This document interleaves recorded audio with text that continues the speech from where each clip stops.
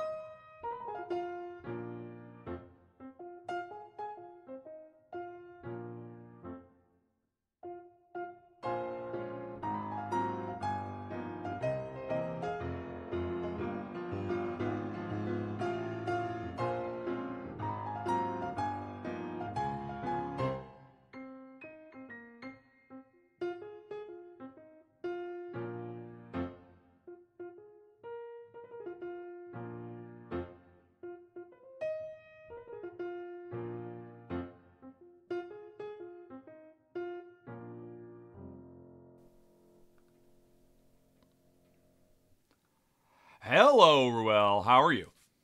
Good. How are you, Richard? I'm fine now that I heard you in my ear because I just remembered only at the last second to unmute both of us. Hey, audience. Perfect. How are you? Can you see us? Can you hear us? Let us do the typical live stream uh, dance that we must do to make sure everything's going okay. That's right. Oh man. Okay, looks like everyone can uh, hear us and see us. Good, good, good. Thank you, friends. Welcome uh, to the latest and hopefully greatest episode of the R and R Show. We're on 51. We're on the other side now of Yes. 50, so this is exciting. or now begins the slow, inevitable decline. But one can be excited oh for man. that. too. Well, I, I hope not. Well, but we we shall see.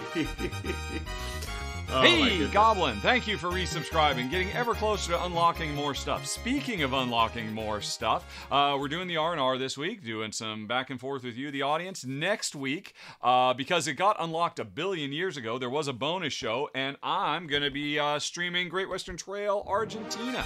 Be doing a live playthrough of that. And then Nice. the week after that, I believe, or am I, rem- am I remembering the calendar wrong? When did we talk about this? Oh man, what what is what's the date today? Today's the twenty seventh, so we've I- got October coming up, right? Yes, yes, yes. I should have just had my calendar open. That would have helped quite a bit with this. I'm going to look see. because uh, October is going to be a bit of a funky month, folks. Yeah. Uh, you're going to see less of me and more of that guy because, yes, next week I'm doing uh, Great Western Trail Argentina. And then on the 11th and the 18th, I'm going to be MIA. I am going to be living life on the road once more as Jen and I go down to California to pick up our brand new, incredibly old 20 year um, ancient RV that we just bought. Oh, I'm so excited.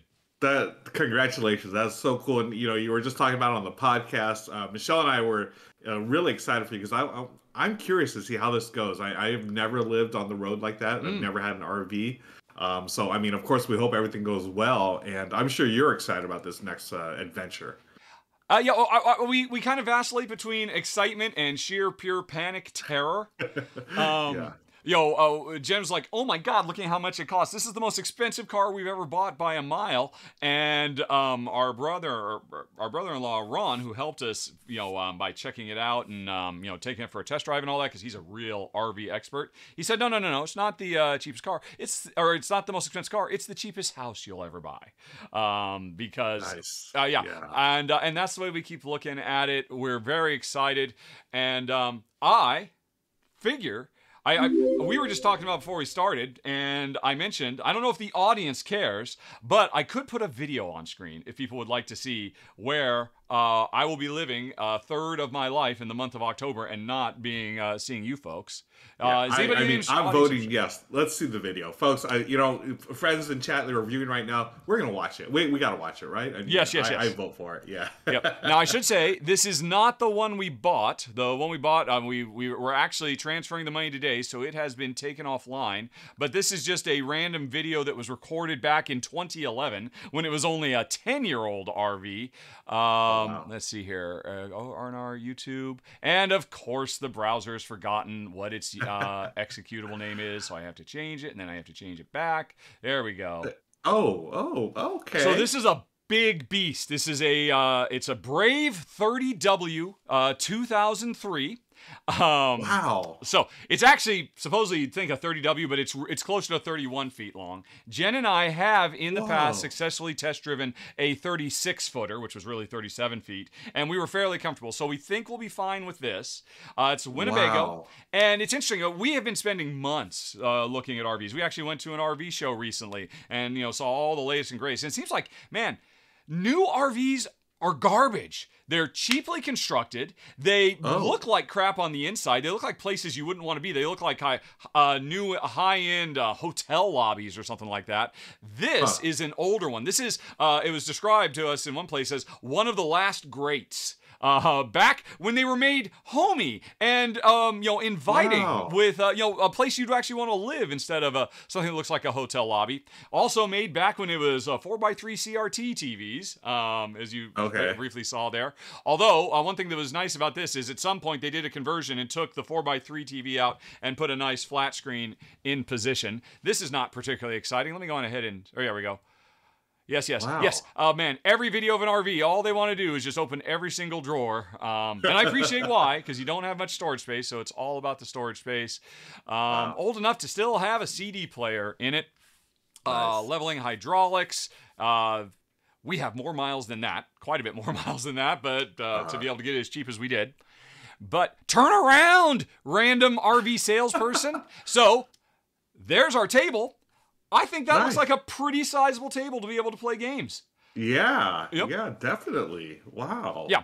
And um, you know, and, and we, we like the dinette approach. Of course, this whole thing can convert to be, uh, I think, not quite a queen size bed, but obviously we're going to leave it like that. Um, we're going to be on the road for two weeks, going down to California uh, to my brother-in-law's because he actually did all the um, upfront, in-person negotiation. He actually talked them down by four thousand bucks. Thank you, Ron. Nice. Very Wow. much. Uh, and um, so we got we have to fly down there and then get it, go through RV school with Ron because he is an RV super expert. He could easily make a career out of just doing RV inspections for people and getting paid for it easily. Oh, wow. He is so knowledgeable. Um, and so and then we'll drive back up. We figure we're gonna do, drive slow along the. Uh, California and Oregon coast. That'll take, I think it's eight days, which is why I'll be um, MIA for two weeks, and you will be filling in. Uh, Yes. we already we're already talking about what you might do for the first week and the second week. I'm excited if it all So comes I. to fruition. Very very I cool. can't wait. And we'll just be driving and playing games on that table. Wow. Um, question. So, are you required to get a different driver's license? Uh, some states require you to get a driver's license if you go to a big enough um, rig. Uh, there's like a called a Super Class C, which is closer Yeah. to an actual big rig than an RV. But no, this you are not required anywhere in the 50 uh, states, as far as I know, um, because it's well actually it's interesting. This is a class a which basically means it is a bus. It is kind of on a bus frame rather than a big van frame. But Okay. um yeah uh you know we've, we've done the research into that. We do you need to get a special license to drive a motorcycle but not this thing. And you know, this thing could do a lot more damage. Um but right? uh yeah. Oh, and you know and, cool. and we're nervous about you know it is big and all that but people who are much worse drivers than us are able to drive these things around all the time with no problem so i'm Yeah. assuming we will be able to handle it um, Wow. Yeah. Well, I mean, we love everything about this layout, the double sink, this little, um, you know, uh, there's there's a few things that are really unique about it. Actually, one of my favorite things you can barely briefly see. RV windows, the bedroom is always a dark, dank little cave in the back. But Oh, this okay. is back when they put windows in the uh, bedroom. So it's surrounded by these three big windows. It's very bright and open and airy. And of course, then you can just close the blinds when you're going to sleep and all of that. Um, Nice. You know, you can be on the bed, but turn around and see all the way to the front of the rig. Often the beds are on kind of like a side slide. So if you go into the bedroom, you're really kind of disconnected from the rest of the rig. And um, yeah, and Jen really likes the layout of the kitchen. It's super unique. Most uh, RVs just have a galley kitchen where if you're trying to uh, go back, go back, go back. Uh, alrighty. Yes, it's it's got a ceiling. You're right, buddy. So, you know, this one where she can kind of be tucked in. If I'm walking by, I don't bump into her. We ran into Yep. that a lot uh, with the 27 footer when we were in Alaska. So she saw this and said, "Oh my God, I I so love that layout, and we we, we love the you know the the light floral pattern that's everywhere." And um, yeah, and again, you know, these were back when RVs were made strong, built to last, as opposed to now, where I mean, you know, you'd have to pay two hundred thousand for a thing that, as soon as you get it on the road, it'll start breaking down. Whereas this has, I mean, actually, it's interesting. Ron said after, I mean, he spent two hours, you know, checking every square inch of this thing, going on an incredibly long test drive. He said this is in great condition for a five-year-old, let alone a twenty-year-old RV, which is what it is. So Great. yeah. Um, Wow. And- and- That's and you know, and if, if it turns out we try a few times, we're like, oh, you know what, this isn't for us. Um, we'll probably be able to flip it and hardly lose anything on it at all because it's already done all its depreciation. Yeah, yeah. Oh, that's good news. Uh, you know, I, I saw in the first part of that video, like it white. It looks like it widens or whatever. Mm, What is mhm. that part? That is very, very common and um, mid to upper end RVs where they, it's called a slide. Uh, actually, I'll just come back to it. Ba-ba-ba. Uh, and just I will. So basically, you get to the uh, the park wherever Yeah, you're going. You you get it all leveled out, and then you push a button, and suddenly it becomes not a narrow little sausage tube that you have to live in, but something that um, has breathing room. So that's Oh. the slide as it comes out, and it's basically Okay. the dinette and the kitchen area all slides out, so you have a decent amount of maneuvering room in the Okay. living room, such as it is. Nice. You know, and these days, I mean, slides are becoming so common. You'll see big ones that have like two or three slides on them and whatnot. Wow. This is a little bit more, um, what would you call it? Uh, less ambitious, but that's okay with us. I mean, the more slides we have, that's just another thing that could break down. So we were kind of happy there's only one. Plus, a lot of times the RVs will have a slide on one side and a slide on the other. And if you extend them both, that makes your RV literally the width of two RVs. And then you're going to have a harder time at a campground finding a spot that you'll fit in. Right. We, I know a lot about RVs now. I have spent months um, studying and watching lots of. Here's the five things you need to know, and I wish we'd known this when we started. I've watched so many hours of videos, and um, yeah, we can't wait to give it a go. And uh, yeah, and, and take some games on the road and just relax because we had such a great time in Alaska. It was so amazing. So this is uh, if this works out, this signals the um, you know the the second chapter, or maybe it's our third chapter. I don't know. Yeah. Wow. Wow. So exciting. That that's great. I'm happy for y'all. I'm gonna be uh, honest. When you, you told me, hey, we're gonna get this 20 year old RV, my mind immediately went to Breaking Bad. I was like, oh, Oh. no, is he gonna get that type of RV? is this just a sign that he's getting into a new uh, quote Yep, unquote yes. business? but no, this thing looks great. I mean, I you know I had no idea that 20 year old Winnebago would look that cool and be that you know I, it looks modern to me. you Yeah, know? well, actually, that's the thing. It looks better. If you were to look at a, this same model Winnebago today, you would say, "Oh, it looks like they're trying to make you feel like you're in a space shuttle or something like that." And Yeah, I, yeah. I mean, I, I guess it, there's there's a market for that sort of thing. You know how for the last few years, geez, maybe even almost a decade now, the hot thing in interior design is gray. Paint your walls Yeah. gray. Get what is with that? Where did that come from? Yeah, I guess it's we're in the future, you know. Yes, I don't suppose know. so. And the future is gray. But yeah, you go back 20 years and things look nice and homey and a place you'd want to spend more than 10 minutes in. Um, Yeah, especially your bedroom. Like I, I want that thing to be super comfortable and like like you said, I I would not want like some cave. I, I love the fact that that one has windows and Yeah, you can you know yeah. just chill in there and yeah. Oh, very nice. Wow, how exciting. So you do you like um so when you go see Ron, you're gonna you know get the RV and everything. Do you is he gonna teach you how to drive it basically? I mean you, Yeah, you've driven yeah. already. yeah, right? he's going to pick it up, bring it back. Uh, they, they live in uh, Central California. They've got a little bit of land. okay. um, in the foothills uh, that my sister-in-law bought many many years ago at a screaming price and they should freaking sell it now they should totally Oh. sell it uh, considering how much it is appreciated over the last whatever it is 20 years since she bought that land Yeah. um, so they're just going to keep it there for us. We will fly up. Uh, Jen has scheduled. We have two days of Ron's RV school with him Nice. to learn all the ins and outs. Maybe we'll take a day longer. Maybe we'll leave sooner. The whole point of RV living is you can make it up as you go. You don't have to worry about schedules. You just do whatever you want.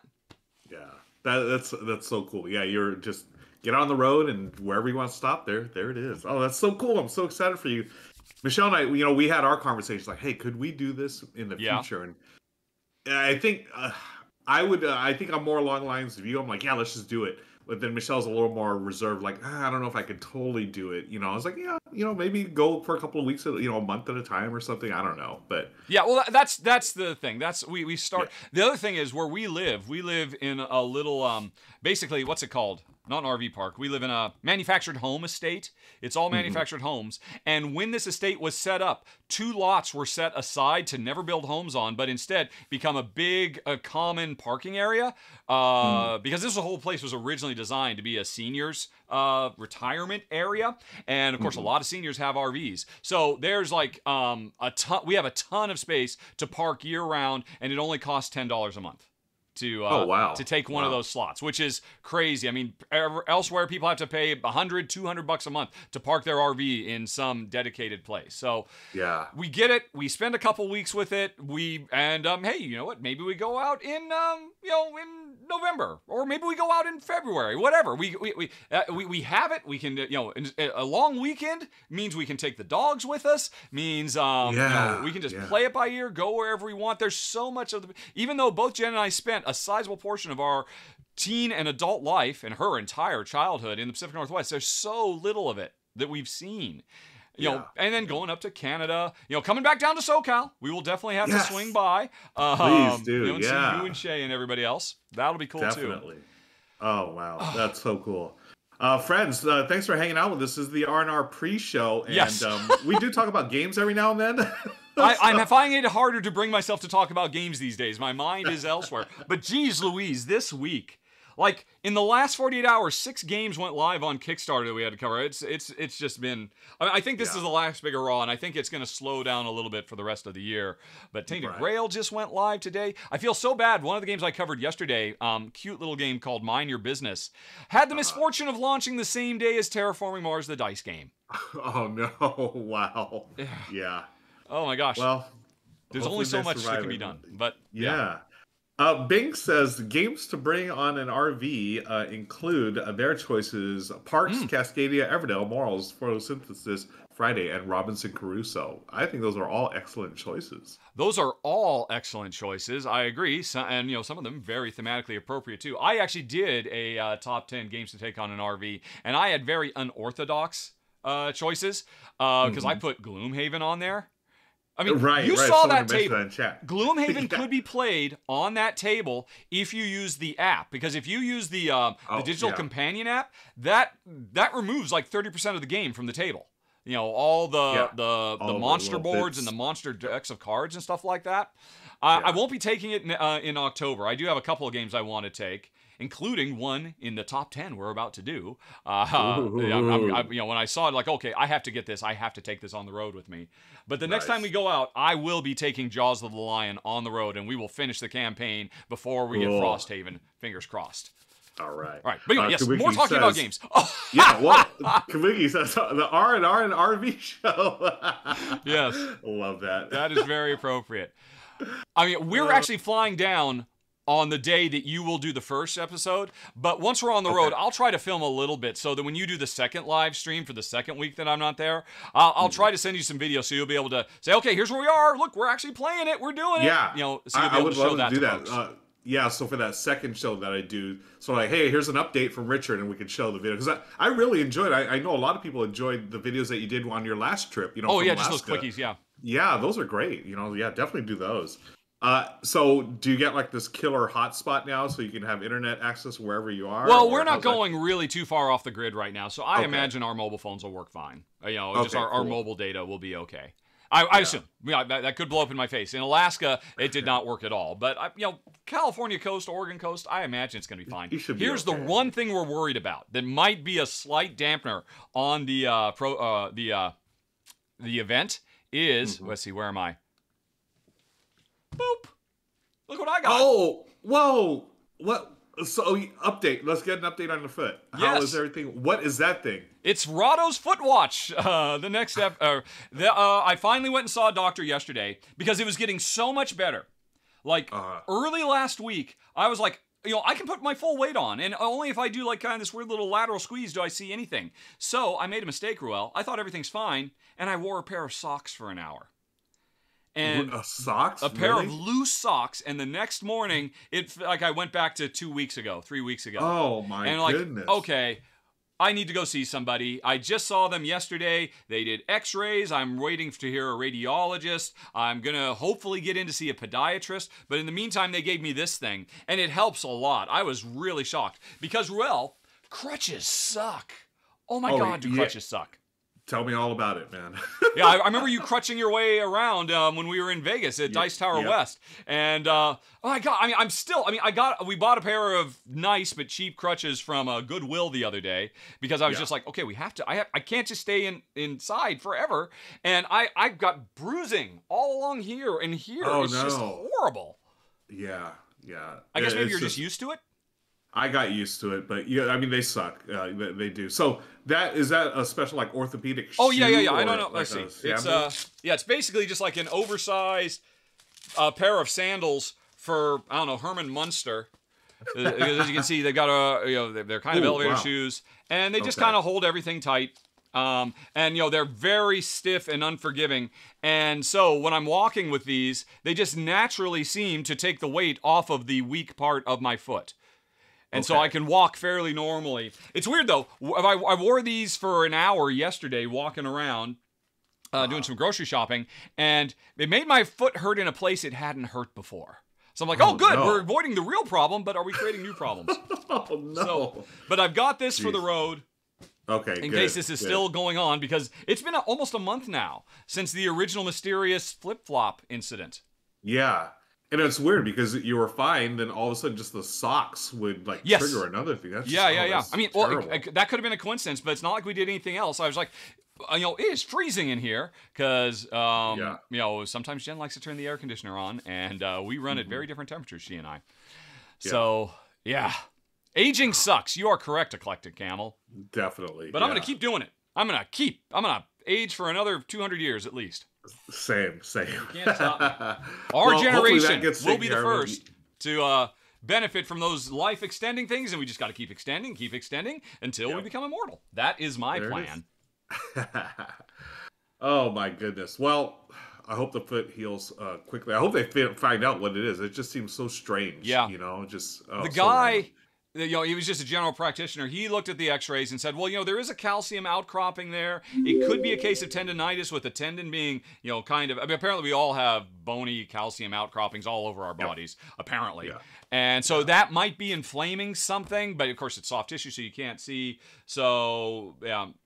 But he said, I mostly I've been worried. There were no fractures. That was good to Okay. rule that out. There was Yep. no evidence of arthritis. It was very good to rule Okay. that out. He actually he was saying, yeah. yeah. your spacing on your toes is perfect. Well, apparently I have perfect toes. Go figure. Okay. Um, you know, or the, good. the spacing between the bones in my toes. So, um, yeah. I, I forget where is it in the heel that It's um, or- it's it's basically in the ball right here. got it. Okay. that, that whole Huh. area.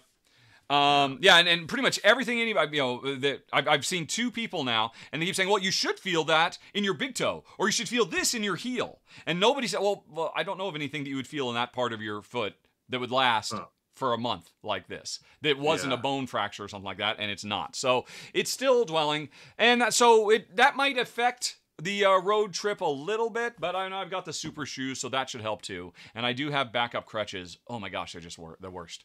They- But- they are the worst. Yeah. And it, at least, I mean, it is the left foot, so you can still drive with your right foot. Oh, right? yeah, yeah, yeah, yeah, Yeah. so Actually, the fine. biggest hurdle is I do all of you know I've got a foot pedal for when I'm filming to switch Oh. camera views, and I usually run that with my left foot. So that's been a bit Ah. tricky. Okay. Friends, uh, what other aches and pains are we uh, going through right now? Let us know your favorite ache or pain in chat. And we'll Yes, indeed. about- but That's so hey, do we have any uh, um, uh, channel point things we need to redeem? We do. I was just opening the window. Right now, we have two requests for Ruel ranks: one this or that, and one Trivial Pursuit. Um, why don't we do a Ruel ranks? All right, And let's do two. Okay. Our friend uh, Frank is in chat. He makes this comment. Every day I wake up now, I ask myself, is this a problem or just old age? It's a strange thing to say at least. Yeah, I I do that more frequently uh, every day. Is this something I need to go to the doctor for, or is this just being old? And- Yes, exactly. Well, that's where I was. Uh, you know, and I eventually Yeah. broke down. Uh, This is going to get. It is getting. Oh, it just got worse. All right. This there's clearly. It's Yeah. not as simple as I had thought or had hoped. Okay. Um, Ruckus says, "Oh, okay, Ruckus. I will check my uh, messages. Thank you, friend. Appreciate that." Um, yeah, you know, like when we're in Vegas, that this like when we met up, you know, I was thinking, "Oh yeah, I'm gonna be fine." Um, you know, when my foot started hurting, and Yeah. I was like, "Nope." Uh, I'm glad. I I'm glad I brought the crutches. I know it's. I know this feeling. It's not a good thing. And sure enough, yeah. I Hey, hold on on. a second before we get to the rail ga- the the Gaviola Library. So you have flown with crutches, right? Uh, float. Oh no, I haven't flown because when we went to Vegas, we. I Oh, you drove. Yeah. Because that, that, But- reminded me, I meant to ask you: Is there any special thing I have to worry about if I try to fly with crutches? Because I've never done it. Yeah, yeah, I have. I've seen people do it, um, but I haven't done it personally. Presumably, it's Um, just an allowed extra carry-on. You would think Right, it doesn't. It, right. oh, I can't. Sorry, sure, you have to leave your backpack behind so you can do your crutches. I assume they don't do that. Yeah, I I remember seeing one person. I think it was uh, a couple of years ago. A gentleman had crutches, and of course they gave him like the seat that has the extra uh, leg room or whatever in the Yeah. uh, start of the aisle. But he did have crutches, and they just put him on the side of the uh, the plane there. So. Um, I don't. I didn't ask. You know, I didn't know what he had to pay or anything like that. But it it was there, so it was allowed. Yeah, yeah. Uh, Soften Your Razor, thank you very much for resubscribing and thank you for the healing rainbow of love that you sent. Oh, uh, Nice. Rare Norb, also thank you uh, for subscribing. And, uh, right, okay, yes, okay. Oh, and Duck of Death. Hey, thanks everybody. Uh, and Oh, branchlings! My gosh, we've just been so wrapped up in ourselves, Ruel. We only had Oh, eyes for each other. Uh, Quest, or no, and then Questor from uh, last week. Okay, great, great, great. Okay, so back to the Gaviola Library, which makes me think of another question I always mean to ask Ruel. Maybe I have asked in the past and you've told me and I forgot. Uh-huh. Uh, Gaviola is not a particularly Philippines adjacent last name, is it? Yeah, you know, I mean, I it's not. I wouldn't say it's a common last name in the Philippines, but there are you know Gaviolas um, throughout the Philippines. Really? so it is kind of a Filipino last yeah, name. Yeah, it's sort of a Filipino name, and I, I always, you know, you know, the Philippines was colonized for many, many centuries by Spain. Oh, so well, there's a of lot course, of of Spanish course. influence there. Yeah, so I'm assuming somewhere along the lines of my, I haven't researched it obviously, but somewhere along the family tree, there's had to be some kind of Spaniard or whatever, you know, and that that I can see for sure. So you've got some of that fiery Latin passion That coursing fiery- through your yeah. veins. Yeah, maybe that's why I love I love Lucy so much. I, I There don't you know, go. Sorry if I offend anyone, folks. I, that's just the thing that came off the top of my head. My bad.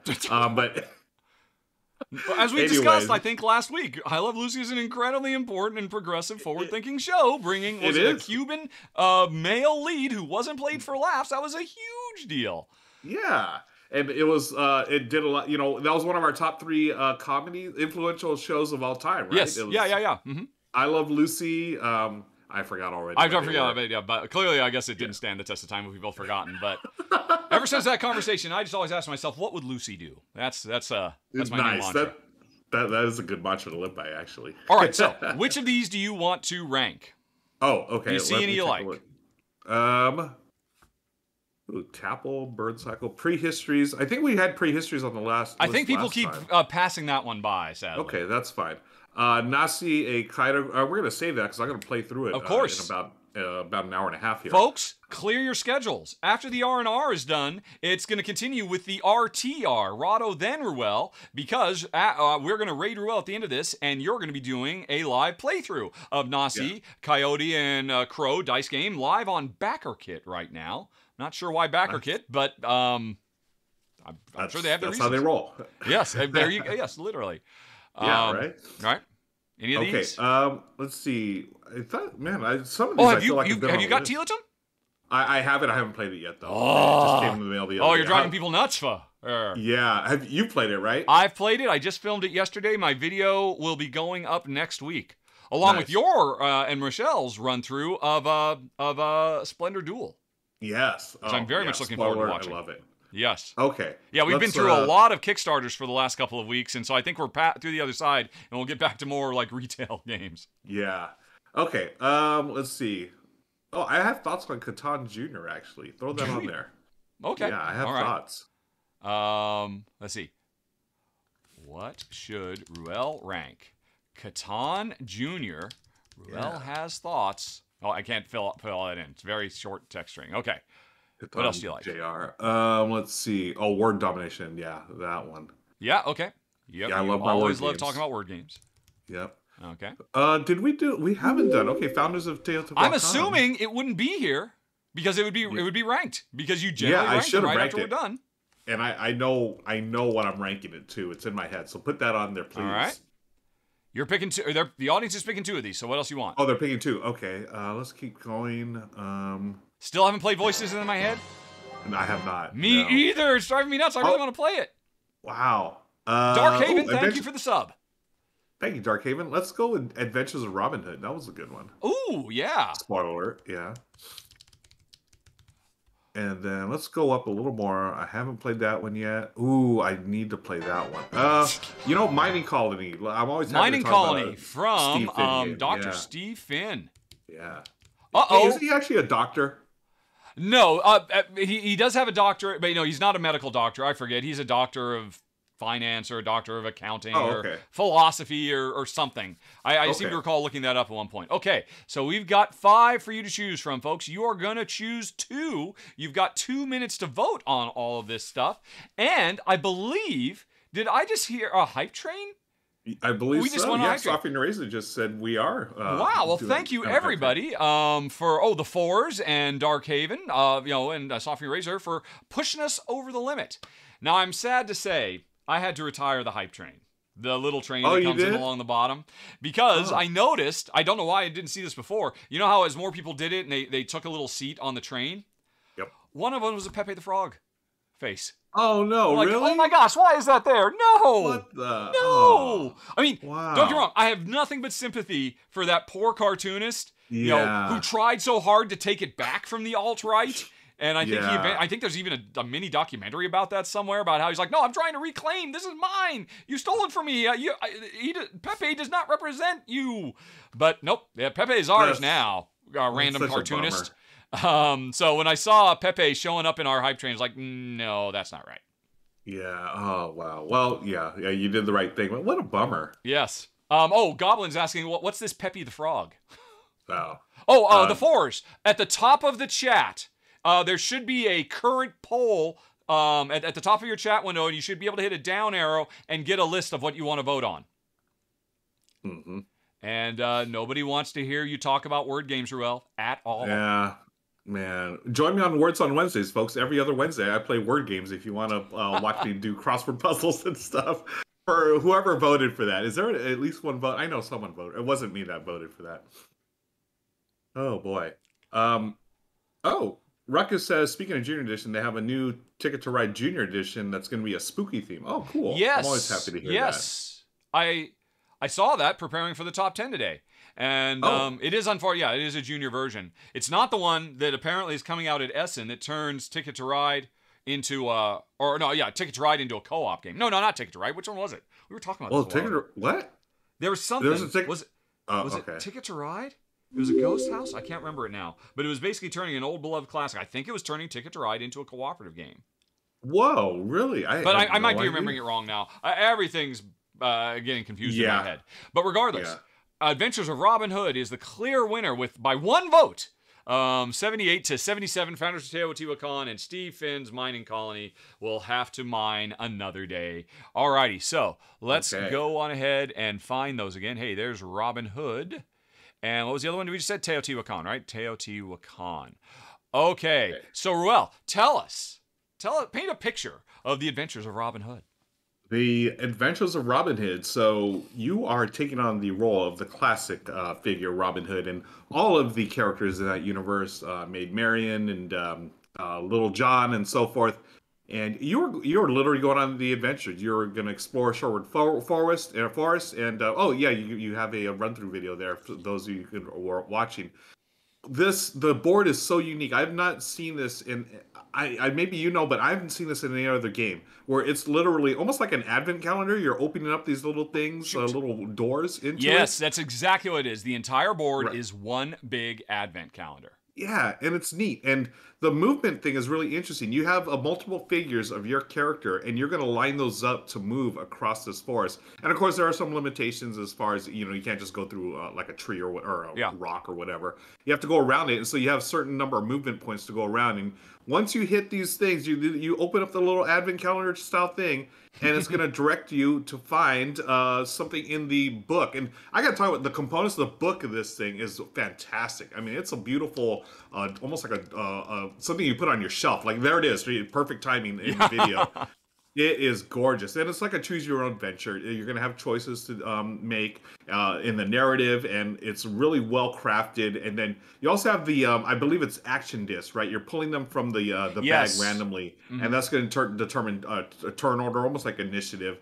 And so you're trying to complete your goal, and you've got certain actions. And as the game progresses, this is what I really like about it, Richard you're going to add more things to it and it's going to expand in, in its depth and its uh, narrative. Um, it starts off it's really easy to learn. Michelle and i went through the, i think the first couple of uh, uh, adventures or whatever but it really does ramp up a little bit um, Yeah. as you go on and you reset things and you have to you know you have certain time to do these uh, adventures or your missions. Boy oh boy and if you have any interest in the theme at all this is such a fantastic theme and the way they implement it, i thought was brilliant um, and I, I definitely recommend it. It's a really cool narrative adventure, and that's why I really enjoy the Adventures of Robin Hood. So what? What? Give it a number. I'm giving Not it a, a until really you number it. yeah. I'm gonna go. I mean, it's am I going in an eight or am I? I it's I think it's slightly under an eight for me. I'm gonna say seven point nine six. Yeah, seven point nine six. Yep, that sounds good. Uh, yeah, I, I, Okay.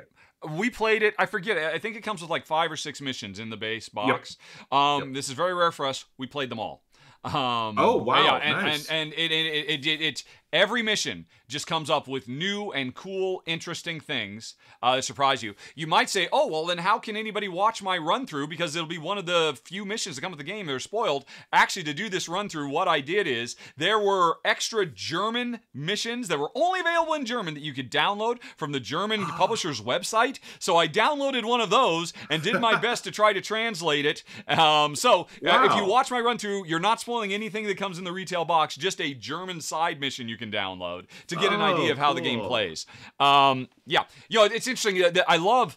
I never thought about it. So just a second. Like you said, a lot of movement games have action points. Hey, I can I can spend three movement points this turn, and in this game, that's what it does. But your movement points are represented by those cool little um, pieces that you very Yeah. organically try to get around stuff.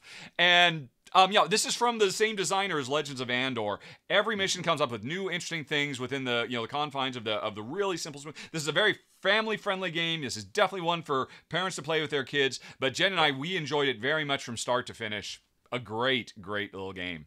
Yeah, Um, and and I, I just think it's- I, just realized Michael Menzel, as you mentioned, Legends of Andor. I mean, he's a great designer Yes, and he artist. is. He did the art, and I'm like, wow, I forget that he's an artist. You know, so very very cool game, super thematic, and uh, yeah, Michelle and I we had a good time with this one. I know some people worry about, well, isn't the game going to break down if you're constantly flipping all these tiles over and over again, like you're seeing me do in this video? Um, if you're, it was not a problem for us because Jen just used her nails, and her nails Yeah. could just get right underneath and not. bu- uh, But um, when I was doing it, we just had a butter knife, so we weren't worried about like you know. Plus, the reality is, once you flip them, don't put them snugly back in because chances are, if you flipped it once, you're probably going to flip it a few more times. So Yeah. you know, don't snugly put them back in until you're ready to put the game away. Great, Right, great thing. right. But that's our first Ruel rank. Afterwards, Yeah. we got to talk about the founders of Teotihuacan, uh, which people also want to hear you talk about. Yeah, and this one, wow. Um, so this is a, I just realized this is a 2022 release. This is one of my favorite games of this year. Um, I, for whatever reason, I don't feel like it's getting as much love as I feel like it should be. I Yeah. mean, it is. To me, it reminds me of um, this line at Board and Dice, where they, you know, they're known for heavier games, right? Sure. But they're doing these games as well. Founders of Teotihuacan and also Zapotec, where they're giving this really meaty experience, but it's in 45 minutes. I mean, I love that. Give me something like that where I can have almost like a brain burning session in less than an hour. I really enjoy that. And this is one of this, the tile laying game at its heart. Uh, this is before Teotihuacan has been, you know, created. You are helping build the pyramid and everything else by um, using resources. It's a worker placement game, and it has this really neat uh, worker placement um, uh, action where you. i think it's the strength of uh, each worker can be different. Is that right? Uh, it's, been- it's been a couple of months since I played it, um, but as you go along, you're gathering resources to build other parts of the pyramid, and it does this the cool thing where you can only build where your architect is, and that Correct. architect goes around your player board. Right. So it's only like where whatever side it's looking on. So Yep. you do have sort of you have to plan that out, and it's a really neat puzzle. And again, it's one of those things I always feel like. Like Zapotec, it's after I played it, it's like, oh, we've been playing for like an hour and a half. No, we've been playing for 45 minutes. I, I love that feeling. You mean I that in a good way, what- not in a oh god, In kill in me the now, best way like, oh my god, Yeah, this it- feels like it was such a big experience, mm-hmm. right? Yeah. Yes. In the best way possible. That's what I mean. Yeah. So it feels like a much bigger experience in 45 minutes. And I love that because it helps me get more games to the table because more games is a good thing, folks. Um, so, I mean, I love everything about this. And I'm going to go high on this one. I'm going at 8.12. I absolutely enjoy this game. Uh, so there it is 8.12 for founders of Teotihuacan. I agree. Uh, this is currently in my running for top 10 of the year. There's still a lot of Oh, yeah. games to play, of Yeah. course, but I think this has a good shot of making it in my top 10. You mentioned the worker placement, and you're right. It is a, does a very cool thing where um, you grab a spot, and hey, maybe you get a bonus if you're the first person there. Other Mm-hmm. people can still go to that spot and stack on top of you. And so you want to be the first to go to a space because you want to get that bonus, but you want to wait for other people to go to the space because if you put your worker on top of mine, you get a double strength action. And Oh, then right, if um if if somebody does a third worker onto that space, they get to do a triple strength action because you know the workers build on top of each other. So it has a really cool, fresh, interesting uh, worker placement mechanism, quite unlike anything I've ever seen before. And it's got really great uh, polyomino tile laying. And the thing I love about the tile laying is you have this really really, oh, now I'm showing the workers. Let me go back to where the tiles are. You have this really tough thing. When you put a tile down, you surround it with all the resources you need to build other tiles. So you want to you want to put tiles all squished together, right? That's a polyomino Yeah. game. Get as much as you can in a tight space, but not in this game. You need to leave space so that your buildings can kind of breathe and give you all the resources you need. But then that means you have less space to actually build stuff. This game is crackerjack. It is so good. Yeah. Yeah. And just, I mean, I it's seriously just talking about right now. Like, I, I, I want to solo it. I have not soloed it yet. It's a Have you great the solo game, which is what I That's what I figured. Yeah. Yeah. Yeah. Uh, wait, maybe I have done it solo. Now I'm thinking maybe I did. Oh, anyways, it, it's really good. I'm watching the video here as we're talking about this, and that that really, I don't know. I love that uh, thing you mentioned how you place pieces down as surrounded with resources, but usually in these polyominoes, you're trying to fill them up, and I love how they flip that on its head. And um, the designer Filip Głowacz, um, for some reason, this take take on worker placements uh, genre. It reminds me of something like Shem Phillips would do, sort of like flip it on its head, like something a new worker placement style. So I really, really enjoy it. That's why, yeah, we're going with eight point one two uh, for this game. An excellent choice for an excellent game. Founders of Teotihuacan cannot recommend it highly enough. Agreed. Yes. All Okay. right. Well, folks, we have now done two Ruel ranks, but you have requested other stuff. Let me bring that winder back up. The windy winder. All right. Um, but where'd it go? Oh, it's in the background. There it is. Okay, Ruel. Oh, and uh, we just got a third Ruel ranks request. I'm sorry, Eclectic Camel. You were too slow. Too slow. Um, but We'll get you next time, my friend. Okay, we have not gotten the trivia wheel out in quite a while, and Fidelia Hmm. requested some personal trivia. Uh, So let me go on ahead. Man, it's been so long, I don't hardly remember how to do it. All right, so we, I come over here. Apparently, they haven't had enough trivia regarding like RVs Oh, I know, or I know. problems or. Yeah, this is like bonus trivia. Oh, and, and Oh, I think it's going to be some Ruel trivia because it looks Oh, like man. um we I need Uh, to be ready here. Yep, yep, yep. I, I, I'm thinking we're going to be hearing some personal stuff, and it can't be about the origin of your name because we already covered that. Darn it. Um, Okay. let's see here. Uh, spin, and it's covered your face, and Okay. I don't remember if I can move this around. Eh, it won't spin laugh very if it lands on your name. There you If go. it There you go. on There you go. name- Yep, yep, oh, yep, yep. so close. All right. So that's Okay. it. And now the next time you see this wheel, folks, it will have been reset. Or no, should I leave it at so 50-50? Yeah, there'll be one more 50-50 chance of, of who you will find out about. But today, Ruel, we need to know deep, dark, personal secrets about your uh, uh, the the trivia and minutia of your life. Yeah. Okay. So we've talked about your early uh, job, your early career, and Yes, as we've a hit uh, that many vacuum times. salesman. Hey, Rahdo, you know what my first like real job was? Uh, I'm It gonna was- assume. I'm gonna assume. I'm gonna assume gas station attendant. Oh, uh, not even close. I had many jobs uh, as a teen, you know, doing like you know uh, mowing lawns, the the, the standard Yeah, stuff. Um, but my real like jobby job was. Um, I mean, where you had pro- to sign a W two. They needed Yep, a social security yep. number from you. Okay, had a timesheet and everything. Yep. Yeah, this is back in the day when you actually had filled out a timesheet. Yep. Uh, I w- I processed payroll for the city of Los Angeles. What? right? What? What is that? You know, um, my father worked for the city of LA for many, many, many, many years. Um, he was an accountant, and um, as an interesting fact, many uh, Filipinos from his generation um, were either accountants, men were accountants, and uh, women were nurses.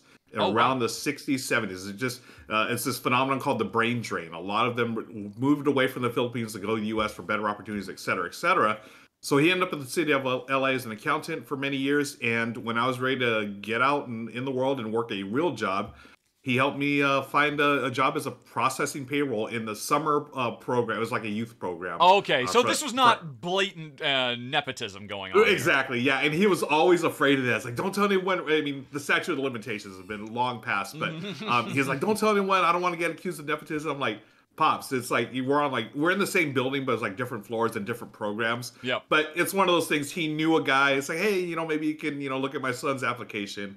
Uh, but it was a fun job. Um, Was it? it? was interesting. It, it was fun because here's the thing. Being in downtown LA, I mean, I was born and raised in the suburbs of LA. Okay. Going from that to downtown LA every day was like an eye opener. Like, Oh. uh, I'm, here's here's a fun fact. Hey, Richard, do you know where I saw my first crack deal? I'm gonna say in downtown Los Angeles. yeah, literally the first day on the job. uh, my dad and I, we actually took the bus together for my first day because he wanted to show me the ropes. We get out of the bus, we were walking to the uh, to the office, and sure enough, the two gentlemen in front of us, boom, did the exchange. I was like, I just saw a crack deal. Wow, that's insane. Did your dad So- notice? Did you say, Dad, did you see that? Or Yeah, did you say, just- keep I- on walking, son? I think we both just sort of like saw it and just kept it to ourselves. And maybe I should ask him uh, now. I said, you know, do you remember that day so many years ago where we saw the crack deal? But, uh, anyways, the, the job was fun because uh, downtown LA, it's got some of the best food in Southern California. So Uh-huh. I would sound uh, like first time I ever tried Peruvian food, first time I ever tried Salvadorian food. Oh, wow. First time, you know, just all kinds of great stuff. And I, you know, I guess the job was okay. It was, you know, number crunching and stuff, but uh, just the culture around it was really, really fun. Um, so yeah, that's my first job, uh, processing payroll for the city of LA. That's some good trivia. I like it. Yeah, thank you. I do not. I mean, Oh. my first actual W two job was just being a fry cook at a local fast food place. Okay, Oh, bonus. okay. Tri- no, no, no. Next time trivia.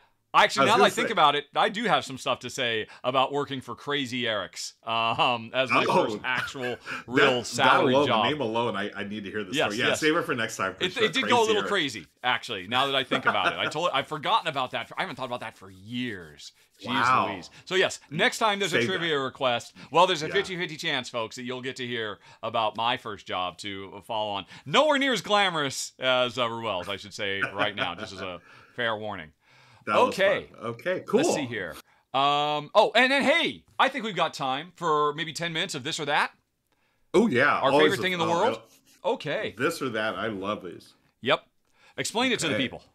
Okay, folks. So this or that, we are. Um, you have all requested this, and what you're going to do is just throw out um, two things in chat, and we will pick this or that: peanut butter or jelly, Summer or winter? summer or winter. You know. No, do Uh, it. Tell me. Summer or winter? Summer or winter? Okay, yeah, summer, winter, winter. Um. Oh, summer. I actually, I, I really like both a lot. I like the two Wow, really? extremes. But if I had to choose one, I love, I love baking. I love. I think we've talked about this before. I love getting into a ridiculously overheated car, shutting the door, and not turning on the AC or rolling down the window, but just letting it seep into my bones. Oh my gosh. Yeah, I thought for sure you're a winter person. For sure. I love thought I love winter too. Although, but for m most of my life, winter just means gray, endless rain. And yeah, Ah, if we could yeah. talk about you know um, northeast, you know, beautiful snowy winter, but that's something I've had very few times in my life. Mm, yeah, I, I'm definitely a summer person. Uh, give me a summer Really? person. Okay. Uh, yeah, Uh, Southern California. You know that. Oh, of just- I'm- course, I'm of used to course. Yeah, Yeah, yeah, of yeah. course. Okay, here we go. Uh, Timmy Baloo, dogs or cats? I'm I love them both, but I am a dog person. Ah, yeah, yeah, totally. I mean, I, I have nothing against cats. I've had some very nice cats in my life. Uh, I still Same. have a very fondness for a little bobtail calico named Sesame. Uh, Oh. But yeah, it's it's dogs all the way. Yeah. Oh, I have. I had a, uh, the one cat I've owned um, had a great name, and I'm going to save that for a trivia as well. So, Okay. folks, we'll save that. okay, here's one. Oh, German or Italian game designers? Huh. That's a really interesting one. Yeah. You know, uh, my gut is to say Italian. That that that Same. group um, of I, I think they all know each other. I think they all play with each other, and they you know they Mm-hmm. all kind of cross pollinate into each other's games. I don't know that the group actually has a name, but it should. Um, you know, forget about Prospero Hall. Talk about that. You know, that, that, that group with Luciani and um, and Nestore and all the rest of them. Yep. Uh, yeah, just based on that, I mean, because really, when you think about Italian designers, you're mostly thinking about them. yeah, Um, the, you know, the dice designers. I love dice and the way they work with dice. But then German, you're is Stefan Feld, right? no. Or- That's come on now. And is Rainer Knizia German? Knizia. Oh my gosh, yeah, you're right. Is And he or is he? I have no idea. It never occurred I to me. believe he's. Oh, is he Austrian? He certainly has a very thick German E, German esque Yeah. accent. So, Yeah. wow, my favorite designer of all time is German. And Pfister. Same. I don't know. That certainly sounds like a German name, Alexander Pfister. Yeah. Although I have no Well, idea what his to- nationality is. According to the internet, Rainer Knizia was born in Germany. There you go. Wow. So, oh man, I wow, change. we're terrible at this or that. We're just supposed to say it and then go on to the next thing, but we're digging Yeah. down. So it's Knizia and Feld versus that Italian super team. Ugh. if one of them, all of their works were stricken from existence, and um, and you could never see them again. No, okay, I'll have to go German. Uh, I Sorry, you, Voyages just- of Marco Polo. Sorry, Tzolk'in the Mayan calendar. Yeah. Sorry, Grand Austria Yeah. Hotel. I I I I, you- I, I, I must have my Feld. and you know what? I can't live in a world without Italian. So I'm going to say Italian. So we can sort of cheat on this Whoa! one. You say German, I say is your number Italian. one. We've- Okay. we've- I know it's it kills me, but it is what it is. Yep. Okay. This is that, folks. We're, uh, we're going to be a lot quicker now. Uh, Yes. Paper money or coins? Uh, I'll be contrarian and say paper money. I actually like paper money. Me and Okay. Friedemann Friese were the only ones who like it because we all grew up playing Monopoly, right? It's just, it's Yep. not, I mean, money comes in paper form. Now, I'm talking good paper money. I'm not talking about really cheap, crappy knockoff, you know, Monopoly money that's practically one step removed from tissue paper, but like a nice linen. I haven't seen it done in very many games, but I have seen some games that have like a nice linen finish paper money, and it's really cool. And honestly, I, I- I know most people love the coins. They love the Every, every time anybody's go oohing and awing, I'm like, do you pull quarters out of your pocket and ooh and ah over that as well? I don't get it. I just don't see it. Yeah. You know what? I like um the I sort of like the com- I mean I, I'm more of a coins guy. I just like fiddling with them when we're Sure. playing. But the um the paper money and it's more of like a little card stock or whatever. I don't uh, like laminated almost, but that game stockpile they have Hmm, money. that's one I of the think ones I'm thinking of. Yes. I, I like that. I think money. that's right, I, am yeah. okay with that. Yeah, Yep.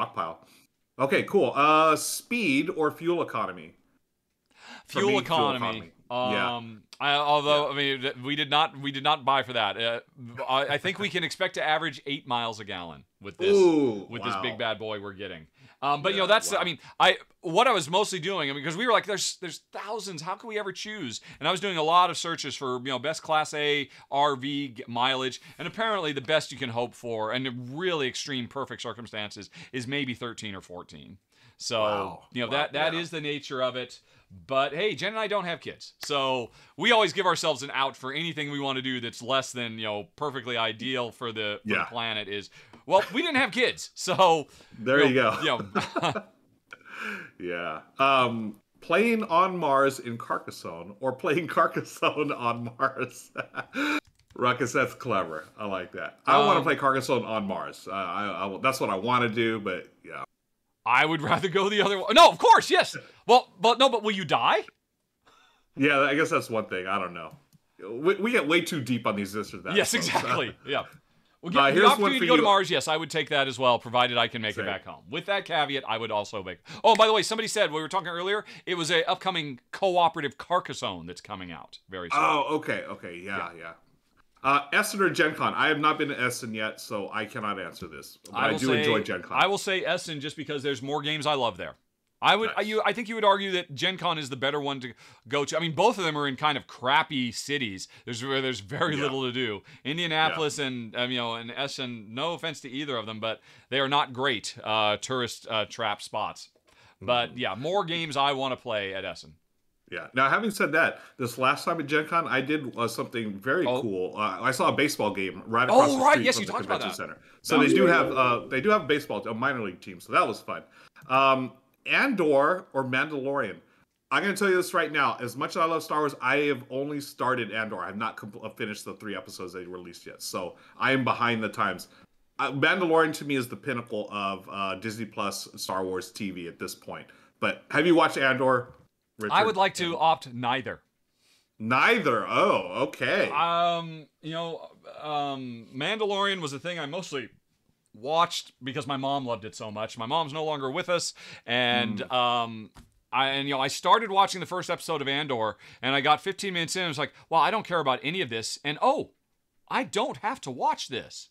I do not have to tick the box of oh, make sure you're uh, you have your finger on the fall. I'm like, nope, I just don't care. Now, as I understand it, from what I've read, it's probably of all the Star Wars shows the one I would enjoy the most because it's very Yeah. Slow and thoughtful. Some people say it's ponderous and boring, but I bet you I would. I mean, they say that about the first season of Breaking Bad too, or Better Call Saul. I mean, I want Better Call Saul in space. That's interesting to me. But still, Wow. I'm, I'm I'm I'm done. I'm done. I'm just sticking Yeah. to uh, my Disney Plus subscription is for Marvel shows, and that's it. Okay, fair enough. Uh, baked or mashed potato? Huh. Ooh. Why is this harder than I thought it would be? Yes. well, I mean, a baked potato is pretty much a mashed potato, just still in the shell, effectively. But yeah, and you put more stuff on a baked potato. But I, I just love mashed potatoes. I you do too. I understand. And it's not like anything you would put on a baked potato, you can put in a mashed potato. Yeah. So I'm going to go Huh. mashed. So am I. I, I that's that's my that was my factor. gut feeling. But yeah, it made me think about it. Thank Yep. you. Um, I've not seen either of these movies. Uh, Matrix Four, Bill, Bill and Ted Three. Ooh, that's a good choice. There are, what the what is wrong with you? And you still haven't seen everything everywhere all at once either? I, I'm so far behind the times. Have you what can I canceled all of your streaming subscriptions? I, I have- I swear, I'm just letting money. I'm just burning. oh, money, you're burning all of them and watching none of them. Um, I I guess Bill and Ted. I liked the Matrix more than most people. The Matrix, I the Matrix Four, it really only suffered from basically COVID filming syndrome.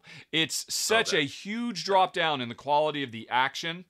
Um, you know, it's it's almost like it's almost you know 1990s TV show action. It's almost Hardcastle and McCormick level action.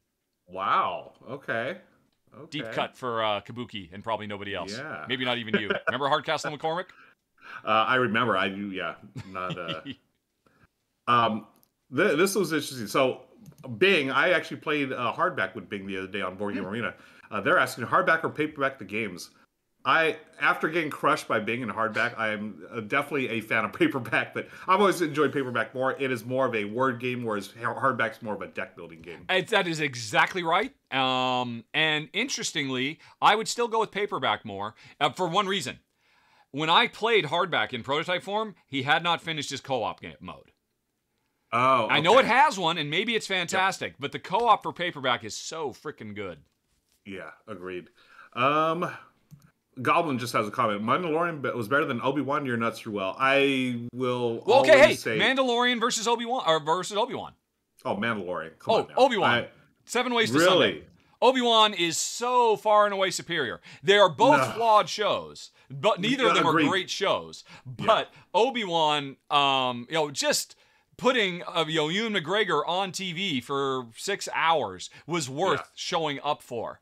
Um, I, I would have loved that show. I mean, you know, if it was just some random sci-fi thing, and you know, anything with Ewan McGregor on TV was absolutely great. But I felt it did a lot more interesting stuff. You know my feelings about Mandalorian, though. So Yeah, yeah, I, I do. Um, I'm not saying Obi Wan was a bad show. I enjoyed it a lot. I enjoyed it actually more than I thought I would. And the the like the final showdown between him and Vader was really way more emotional than I thought. Yes. Like I I was literally choking back tears. Uh, you know when they had their last interaction. I love that. Um, but Yes, on, uh, it, it was just- starts oh. incredibly strong, and I think it ended incredibly strong.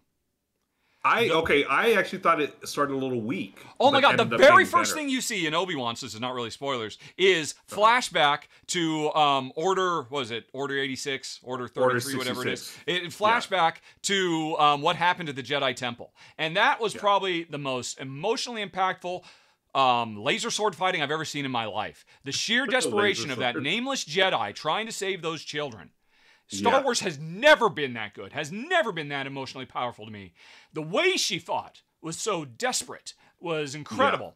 And then, you know, the big surprise, you know, the, the baby equivalent Yoda surprise, just put a smile on my face. I and we will just ignore the um, frolicking in the woods. We'll just forget about that whole. okay, hey, you. let's play. Let's play uh, hide and seek with the Red Hot Chili Peppers. We can just forget, pretend that didn't happen. now that was one thing I did not expect. I got to shout out Flea. I, I was- the last time I saw Flea on the big screen was back in Point Break, folks. There you That's go. been a long time. So. Mandalorian gives you no flea, gives you no chili peppers of any sort. No Yeah, you know, Anthony, if- no nothing. no, Anthony. Yeah. So next time, if you're watching um, Lucasfilm and Disney Plus, we need more chili peppers. Yes, clearly. Okay. Final couple of things here, real quick. Han Solo or Indiana Jones? Hmm. Oh man, I gotta go on my favorite scoundrel in the galaxy, Han Solo. Yeah, I think I would go with Han Solo as well. I mean, I've always liked Indiana Jones. I mean, Same. Same. I, I've always appreciated all the movies, but uh, yeah, I don't. I just don't think it's quite as formative. Um, I don't think there was as much interesting to do with him as a character. He didn't really have Yeah. anywhere to go. I mean, he is the example of you know when people say, "Oh, movies have to have an arc." Really? Did did the Larry's Locks Marks movies? They didn't. Oh, but no, Right. he he learned that maybe there's superstition is maybe a little bit real. That's it. You know, he didn't Yeah. go on any kind of emotional journey of growth and character development. It was just a great fun film. Same for Yeah. Marty McFly. He doesn't change as a person. Yeah. Um, in, at least in the original movie, I know they tried to bolt on a character's journey for him in two and three, which was just so like okay, they clearly were like, oh crap, the book says we have to give him an emotional arc. We would. Turns out, I guess we'll try to do it anyway. Anyway, sorry, that's like a whole different rant about um, what you have to do to have a good movie. Otherwise, it's a bad movie. Yeah. Yeah. What else? Last few ones here. Okay. Uh, Amster Dicer Lisa, morning person or night person? What's morning? Uh, If you're talking about after 8 a.m., uh, I'm both.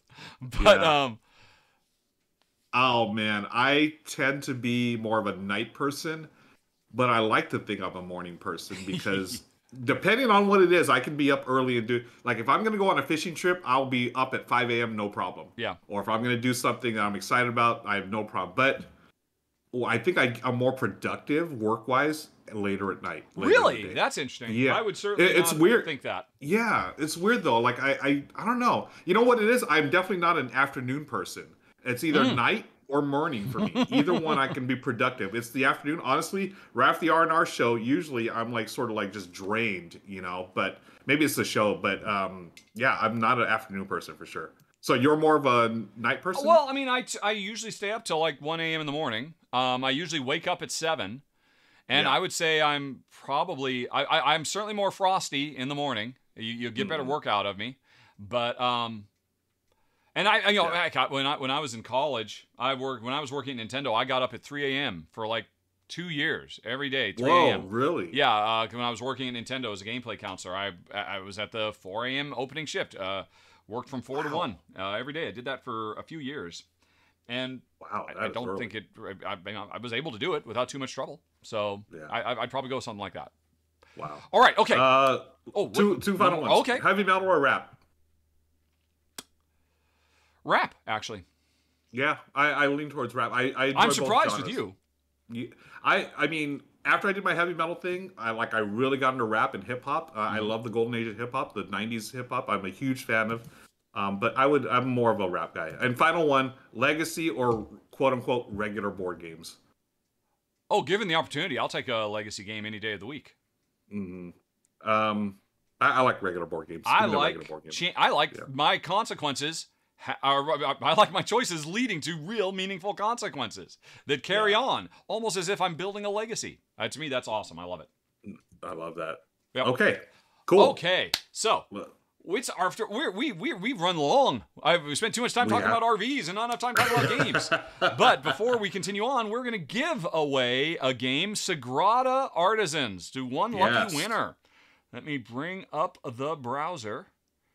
And um, let's see here. That browser, she's going to spin for somebody is going to get it. Hey, and while we're doing this, I'm gonna test if I can do the uh, caption thing. Oh, true. We, we totally We forgot to do that before we started. yeah, right. So, okay, winner, winner. Oops. Juan Falcone. Congratulations, Juan. Can you put that down there in the bottom? Oh, you have uh, given a sneak Juan. peek of your tabletop Oh man, what is that? Why is this? Ah, because you hit um, one of the keys that OBS has mapped to go to that particular camera angle. one of my hotkeys apparently just There went off. go. So you got a sneak peek of what's coming up next, folks. Let's yes. see. Did what I? was okay, it? Could you identify it? Um, from just seeing half of a Uh, dice tray, I think is all we saw. Yeah. okay, let me. All right, so Juan Falcone is the winner. Juan, I'll be contacting you later today to get your information to get it on to the publishers. Congratulations. Sorry to all the other entrants, but if you stick around and watch the show, you'll be able to win a $50 gift certificate. If unless the show is over because Ruel seems to be struggling now. Yeah, now I've got. Uh, te- can you hear me? And uh, you can still. I can me, hear right? you. I can see you. Yeah, Okay, yeah. I, I, knocked out a cable here, and I don't know what it was. Oh okay. no. Man. Well, Oh, while okay. you're trying to make sure you're back online, folks, to win the $50 gift certificate for the top 10 we're about to do, we need a secret word. What would you suggest is a good secret word based on the conversations we just had? And I'm going to go into OBS and turn this thing off because I don't want to. Let me see. Let Turn me off what? Fix my my uh, my hotkey here because apparently I put something here that I'm going to be asking. What did I use to pause? That's not it. What did I press? This is so know. weird. You typed in the word congratulations Yeah, and maybe hit a couple of extra keys. maybe I, I think that's that's what I did because that should not have triggered it. That's, that's what's freaking me out. Yeah. Okay. Anyways, um, That'll be very exciting congratulations while we're winner. filming the show. Yeah. live. Alrighty. So, um, and yeah, you know what? Why, uh, all right. So people are suggesting RV over and over again, and that does seem like Okay. the theme of the day. Yeah, for Um, sure. See. Yeah, here. should we? Well, how are we gonna do? Huh, can I do RV? Um, Uh, I can totally do it. I can totally sure? do it. really? Okay. Yeah, you so. sound like. Yep. Okay. All right. All right. I you got a need to make a on your face. I feel like myself. you should do it. Yeah. Don't forget Okay. on this particular entry just use the word casually RV. I, I think it's going to be a little obvious, quite frankly, but that's okay. Okay. That's okay. All right. All right. Cool. Urgh. Right. Okay. So, folks, I'll be saying RV at some point in the upcoming top 10 because you watch live you get to know and um, now because some of you actually subscribe and keep this show going thank you very much uh, we're going to have a battle to the death amongst all our favorite people and only one um, what is this looks like 30 inter one leaves in this upcoming battle royale all right Good luck, everybody. Let's get the pre-show banner off the screen. Don't want to obscure any of the carnage as I have mistakenly done in the past.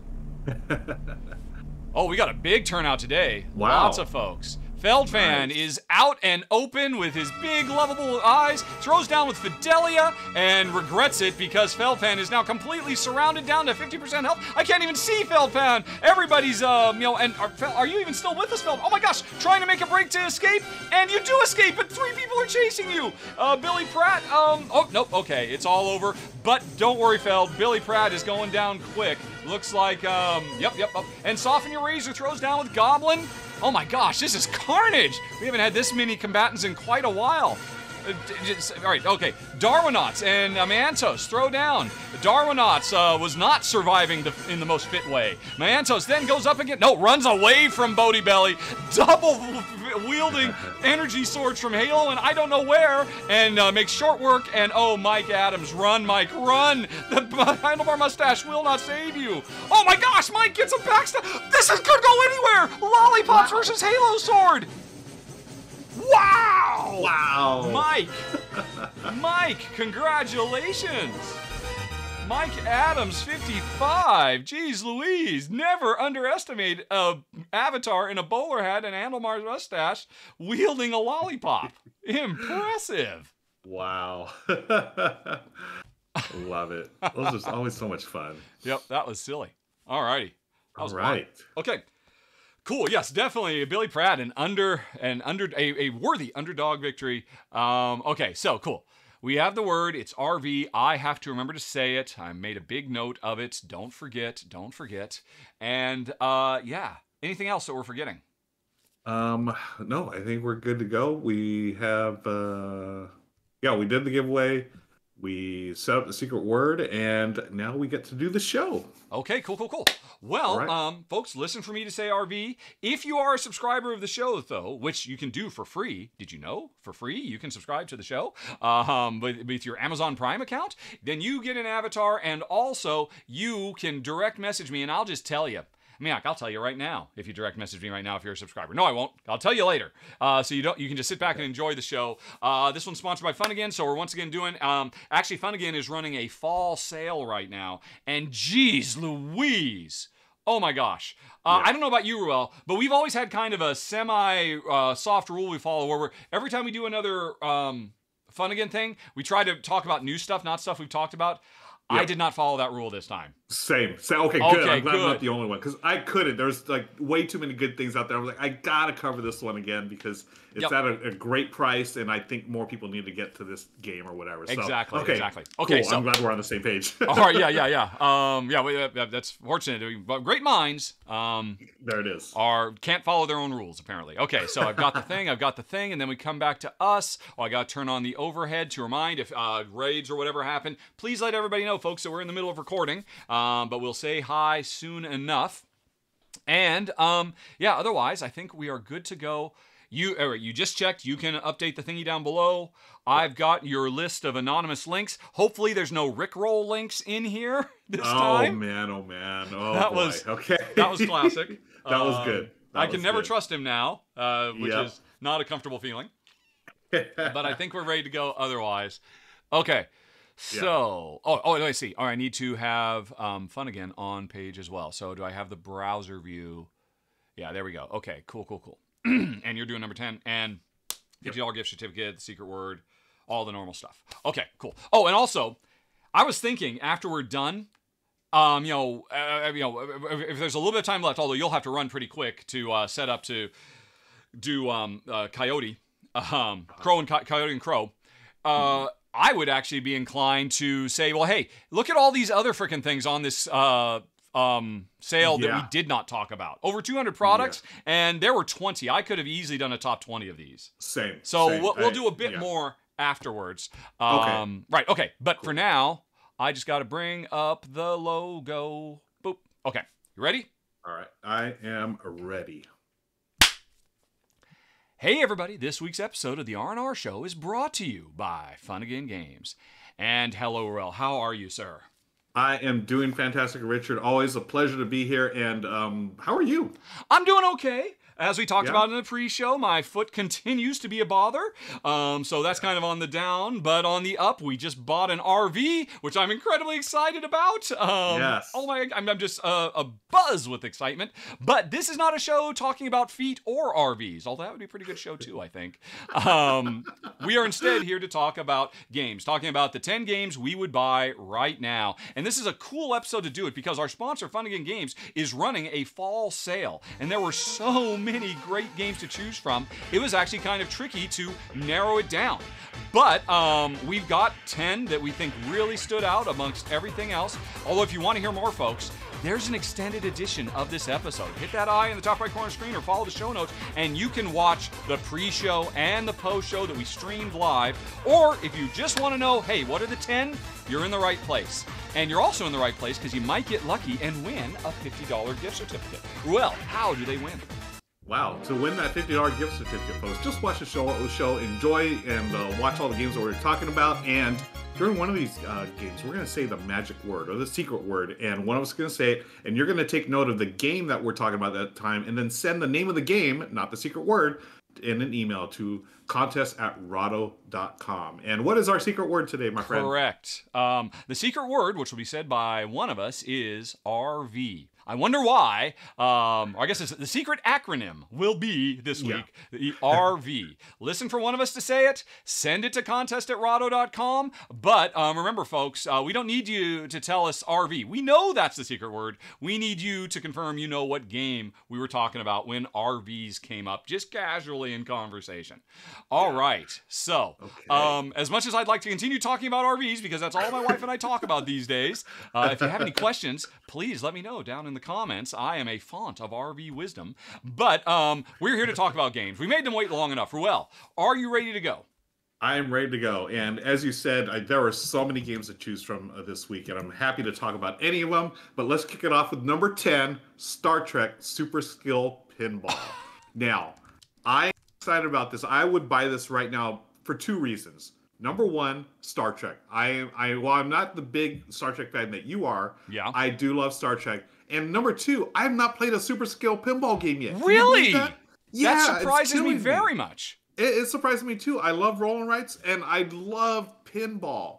I absolutely love pinball. It's one of my favorite things to do in the world. As much as I love video games, honestly, give me a pinball machine any day of the week plus twice on Sunday, folks. I love them.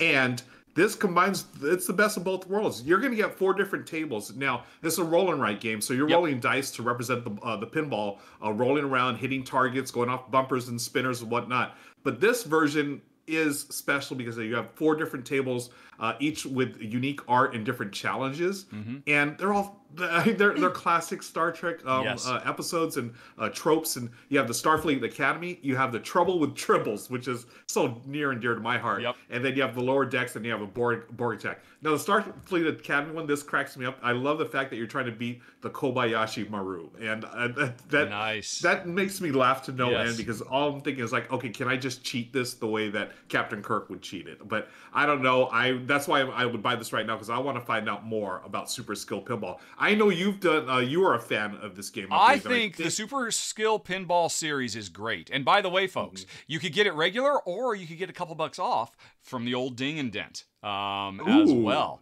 In fact, I just noticed the Ding and Dent while I was uh, bringing it up. And that makes me think, well, I need to pick this up because I love Star Trek. I do not love pinball, but I do love roll and writes. And, and you're right. This this is a great roll and write in its in just on its own merits. Uh, Mm-hmm. that really surprisingly does a great job of capturing the feel of pinball because you've got these really cool pinball pieces that every round they are they are inexorably moving down, down, down, closer and closer to your flippers at the bottom. And um, you know how you're rolling and writing determines the path that they are going to take.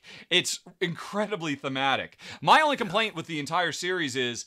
They are a bit on the long side. I wouldn't mind if they were a little bit shorter, but that's a minor Yeah. complaint if you're having fun. And I mean, the the sense of humor. I mean, uh, Star Trek Lower Decks. I I I, I- have to try this myself. Yeah. Um, yeah, definitely. So that is an excellent choice. I'm I, again, I am aghast. I am flabbergasted. I my jaw is dropping that you haven't played it because you definitely need to. I know. I need to. Yeah. So that, again, what better way to kick it off than a Star Trek uh, version of it? So I will definitely be uh, playing this real soon. Cool, cool, cool. That's number ten. Let's move on to our number nine. All right, number nine is uh, it's not from. I, I I've got several titles to talk about from the uh, the the fall sale, but this is just a, a new release that came out that I have to admit, at first I was not that interested in Knight Fall. Um, and I don't know if you know anything about this one, Ruel. It, it may have been on my list that didn't make it on the list. Oh, really? it made your short list, huh? Yep. Yep, well- made my short list. It makes my short list because it is from artist and co-designer Ryan Laukat, Red Raven Yes. Games, you know, one of my absolute faves of all time. And the reason I, I at first had dismissed this is because on the surface, this is a skirmish game um, that can, it's really ideally played as a two or four player skirmish, although there are rules for solo and three player as well, where one team controls the uh, defenders, knights, and um, elders who are protecting this castle that is randomly generated and full of all kinds of tiles you can stand on to give you special abilities, and the other player controls the demons that are invading. And so it is a very back and forth chess type match with lots of special effects. Uh, it kind of has a Marvel Champions vibe to me because every round you draw, I think, four cards if I recall correctly, and pretty much you always play all of them. You know, so it's a very tactical game of okay, what have I got? What's on the board? Oh, oh, if I do this and then this and then this, I could really pull some stuff off. But as as interesting as the art and the the pedigree of the developer is, I don't I don't care about running around and trying to beat the crap out of Ruel's um, minions. But then I found out they've also included cooperative and solo rules. And that's what brings me in. Where players work together, it becomes a one, two, or three uh, co op game for uh, one, two, or three players. And we are all the knights trying to protect from the demons, and the demons are drawn by an automated system. And that's what I really want to see. Because every round, you draw two cards from their deck, and I believe you end up doing a major attack for them and a minor attack for them. And as I understand it, what really pulls me in is they are brutal. If you're playing the co op game, this is one of those ghost stories type co op games. It just really rips you apart. It's fast, it's brutal, it's terrifying from start to finish, and it's got amazing Ryan Laukat art and his design sensibilities, um, you know, working with a co designer, which is why I am very, very intrigued. I would definitely at some point like to give Knight Fall a try. So that's why that made the short list. Yeah, uh, and that those two words, Ryan Laukat. That's what you know. I Mm-hmm. saw that and I was immediately interested for the reasons you spoke of and more. And I, you know, yeah, thinking about the solo and co-op, uh, I immediately thought, hey, you know, you you would be into this. And Oh, yeah. um, th- there it is. All right, great choice. I'm going to move on to our number eight, and Oh, this okay, is sir. a game we have both talked about um, in the past, and it's on sale right now, and that's why I put it on the list. Dice Miner. Okay. oh, Um, yes. This was, yeah. Th- th- so this is the Yeah. first one that's actually taken from the big fall sale. Yes. Right. So, folks, it's normally thirty four ninety five. You can get for twenty two ninety nine honestly, I would pay full price for this. I love this game. We actually, the first time Richard and I met in person was earlier this year. The very first game, I think it's the first game we played Yes, together, it wasn't was. it? Yes, it okay, was. it was Dice Miner. A wonderful game of you are dwarves uh, digging in the mountains and trying to get all the treasures and whatnot and avoid dragons and so forth by doing this really cool thing where you're dropping dice in this 3D mountain and you're taking the dice away from this. There's a little puzzle to it, like which ones do you want to take out because the other ones are going to fall in, and you're going to try to get different sets of them. You know, you try to get uh, numerical sets like Yahtzee style one through five, and you're trying to offset the dragons with I think it's shields, and uh, you have magic which allows you to reroll, and you have gold coins, and it's really uh, just for a 20 minute game. It's a wonderful experience. Yeah. It's so easy to set up, and yet you're still every single time you've got a nice little decision you've got to make. I mean, sometimes it's clear what you're going to take, but most of the time, especially early in the round, you have some really interesting choices. Like, do I take this and, and leave this for my opponent? Or am I trying to do this or that? Oh, I, I love it. Michelle and I are instant fans of this, and you do have like uh, variable uh, asymmetric powers, uh, abilities that you um, pick at the start of the game. Oh man, uh, we played this a ton, and I'm so glad I got to play it with you. And actually, our friend uh, Dwayne from Blackboard Gaming uh, joined us as Yes. well. Uh, wonderful game, Dice Miner, folks. I've been hyped about this ever since last year, and I still still think it holds up to this day, and especially at that price over there on Fun Again Games. So that's our number eight, Dice Miner. I cannot argue with that at all. I just checked while you were talking because after I played it with you, I got home and I got myself a copy.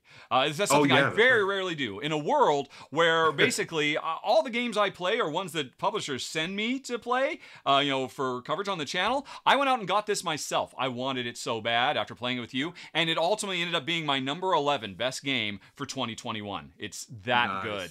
Uh, It's Yeah. so simple and clean and pure and elegant. My wife loves it too. And yeah, it's we actually talked about this one I think a few months ago on the R and R show. It's now actually five bucks cheaper than it was a couple of months ago um, with this fall sale it. that's going on right now. So an excellent choice, sir. Very, very, Thank you. very much approved. I thought about All putting right. it on my list as well, but there are ones that I'm even more excited about. So Mm-hmm. let's talk about another one, another, another from the uh, recent releases. Uh, it is Remix. Although I think actually the full title, let me fix that, is Marvel Remix. Marvel colon remix, and this is basically um, a, a- there's a very popular game that's been around for years now. It's gotten a lot of expansions called Fantasy Realms, and um, I have played Fantasy Realms. Fantasy Realms is absolutely freaking brilliant. Um, a, a high fantasy game where everybody starts the game with a hand of cards that score points in different ways, and every turn you're going to um, give off a card, give away a card to like a common discard pile, and then get another card, either taken from that discard pile or drawn blind. And we're going to do this for a little while, and when the game is over, you have the same number of cards as when you started with, unless you got some special powers, and you're just trying to draft the perfect collection of, well, it used to be fantasy characters, you know, paladins and, and clerics and, and dragons and whatnot, but now it's Marvel superheroes. Yay, Marvel superheroes. My wife won't play, um, oh, was it? My wife will not play, uh, uh, Marvel Champions with me anymore because it's just gotten too top heavy and complex. So this is how I get my Marvel back in my life. Um, I am so excited about this, and when I saw it is now available, well, I'm telling you right now, I am going to be getting a copy of this game. Make no mistake, because I want to play it on the road in the RV with my wife. I am really Nice. stoked for it, especially because it doesn't just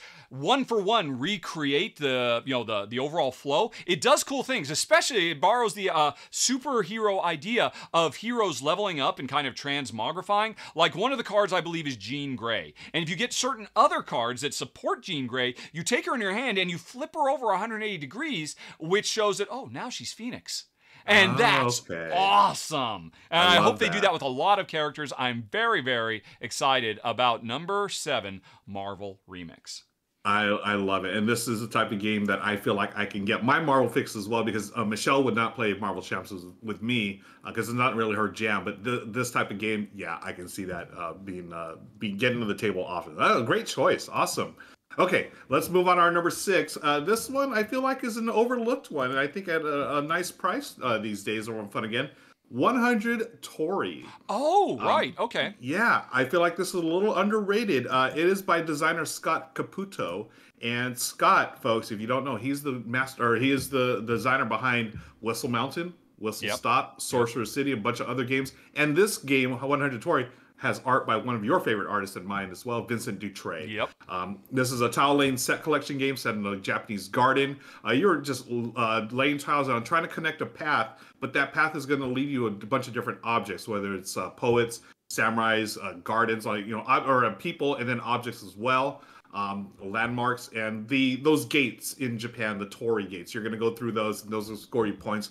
I really enjoyed this game. I think it is for whatever reason it's overlooked. Um, you know, because there's a lot of tile laying games nowadays. Uh, Right. And but this one, it's beautiful and it's um you know elegant. The scoring I think might be part of it. I, it is a little funky scoring. It uh, is right. like, it's all about building these roads, and then hey, when I score, I score everything that's along the road. But the roads are constantly shifting, and you're putting gates Yeah. down, which aren't in this picture. But you know, there's some nice components with it. Yeah, Yeah. and I think that might be part of the reason why it's overlooked because it does. It's an interesting game because as the game progresses, it can get a bit much. Like you're trying to optimally place Yes. your uh, path to get to the most points, and it, it can lend itself to a little AP. But I I still enjoy it. I think it's fantastic. Again, Vincent Dutrait's art in this one is absolutely gorgeous. Um, that's why we chose number six, the 100 Torii. Okay, yeah, I'm I'm down with that. Uh, yeah, Mr. Scott Caputo is fast establishing himself as one of the premier. Hey, whenever I use tile laying, I do cool and interesting stuff that you haven't Yep. seen before.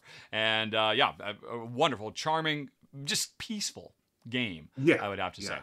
Okay, definitely. well, moving on to number five. I am back to the fall sale, folks. Uh, for free radicals which oh, Oh, my yeah. gosh I, now, this is not the first time we have talked about this game. Fr- free radicals currently sits in my top 10 games of 2022 i love this game to pieces so much because at its heart it is not one game it is 10 games in one. When you get this game you are getting two different uh, tile laying games. You're getting a mancala game. You're getting a deck building game. You're getting an engine building game. You're getting a uh, sword and sorcery adventure game. Because when you set up to play, um, uh, you know, and this game is set in the far flung future where mankind has gotten their crap together.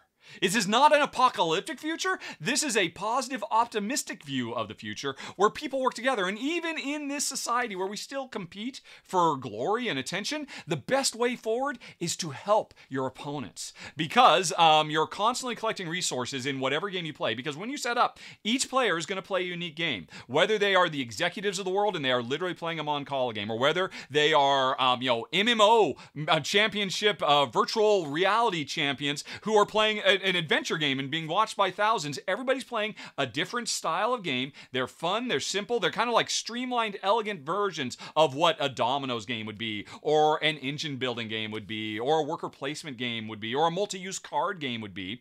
We all have a totally unique game to play, but we all interact with the same um, big city where we spend our resources to build buildings that usually will help our opponents more than us. But every time an opponent uses one of our buildings, we get a little something something. But even better, one of the things you can do in this game is um, donate resources that are the, all the resources in this game represent knowledge, the further advancement of humanity as a species. And everybody has their own track they can move up, and you can just move your track up so that you, because whoever has, whoever's earned the most knowledge for their faction gets the most points at the end of the game.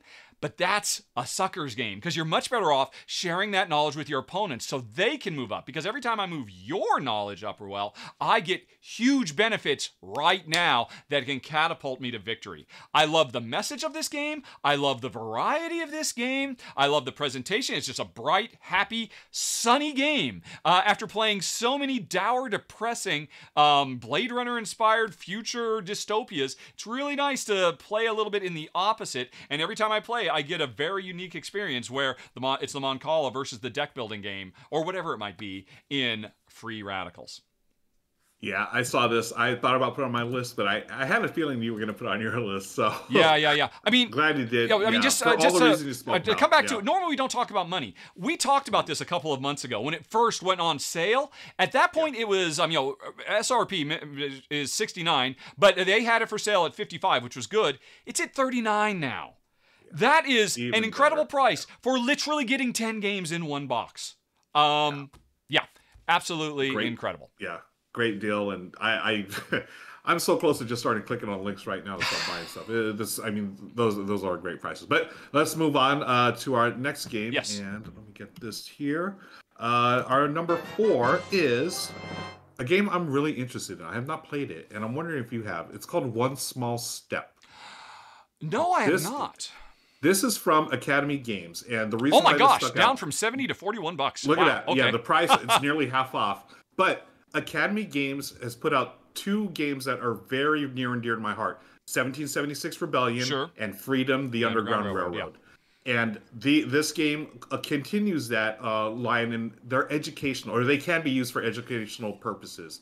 And uh, they actually, um, for those other two games I just spoke about, Rebellion and uh, Underground Railroad, they actually have books that they have used in uh, high school curriculums. Right. And this game, One Small Step, uh, I I think it does the same thing. But anyways, what it is, it's U.S. versus Soviet Union. Sure. It is a race to the moon, folks, and you are. Uh, it's a worker placement game, so right there, I piqued my interest. But also, you are. You can play this a two on two, or you can play it a one on one. Okay. Where you uh, the two on two version is a team version, so you're going to be either an administrator or an engineer, and what you're doing is trying to get your ship and your uh, rocket to the moon first. So you're gonna have to. There's like nine different resources in this game. So you're doing all kinds of stuff, doing you know, placing your workers, converting those resources to get ready to man a mission uh, to the moon, and whoever's first is gonna win the game. Uh, there's a lot of historical background uh, on it, and you know, it, it can be used in the classroom apparently because that's what Academy Games does. Yeah. And that reason alone, I love. Um, you know, my wife Michelle, she's a teacher.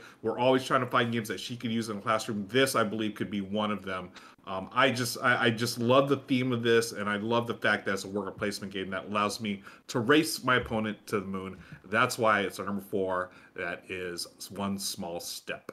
Good choice. Academy Games is not necessarily the hottest, most well known publisher in the board game sphere, but they are certainly well known for always putting out fantastic, well considered designs that are really hew very close to history. They could almost be used as um, history lessons in a box, and yet. They do not sacrifice on the fun. They don't feel like edutainment. I've played Yeah. several of their games, including, as you mentioned, Freedom of the Underground Railroad, and I've always been very impressed. Agreed. Agreed. Good choice then. Thank you. Yeah, I totally missed Right. that one. A good call. Good call. Yeah. But you know what? As cool as that one is, Ruel, it is not as cool as number three, the founders of Teotihuacan. Oh, yes. Yep. I know you're Now- excited about that. Yeah, and the reason why I'm laughing, folks, if you watch the uh, extended edition, we actually talked a little bit about this game. I ranked it on my personal collection during the pre-show, so be sure to click on that eye and uh, check that out. Yep, yep, yep, yep. I mean, uh, yeah. Actually, yeah. The, if you we go into this game in fair bit of depth in the extended uh, video, but I'll tell you right now, Founders of Teotihuacan is in my top 10 games of 2022 so far. There's still a few months. There's still going to be a lot of cool stuff coming out at Essen, so it might get supplanted, it might get pushed out. But this is such an amazing cross of really fresh, interesting worker placement, quite unlike anything that's ever been done before, where my workers build on the strength of your workers, and then subsequently your workers become stronger because of my workers. But then, uh, so it's got really cool worker placement, but it's also a very, very cool polyomino tile laying game as well, with some really clever restrictions and real straitjackets they put you in, where you want, like always, to get your tiles as close together as possible, but you want them as far apart as possible. And so there's a really interesting dynamic push pull as you're trying to build, you know, the the great uh, pyramid of Teotihuacan. And uh, yeah, it is absolutely phenomenal. We talked about this one a few months ago on the show as well when it Yep. first went in. And at that point, I went back and looked. It was 35 bucks. It's at 28 bucks now, or I'm sorry, Wow. 28.99, so 29 bucks. So um, yeah, this is. I'm telling you right now, folks. If you love worker placement and you love polyomino tile laying, this is one of the best games of the year, and it's worth checking out. Number three, Agreed. The founders of Yeah, Teotihuacan. uh, Yeah, agreed. And same here. It's one of my top three of this year so far, and I don't see it leaving that before the end of the year. It is an absolutely fantastic game.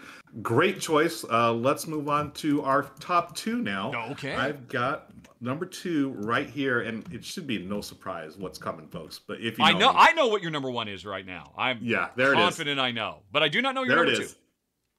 Well, Twilight Inscription. Whoa! Hold on, then. I don't know what your number one is. Hold on. Oh, really? Oh. wow. Oh wait! Okay. Oh right, right, right, right. Oh, I forgot, folks. Yeah. This is a top ten. It's a combination of my top five and Ruel's top five. Of course, your number one is really number two on the list.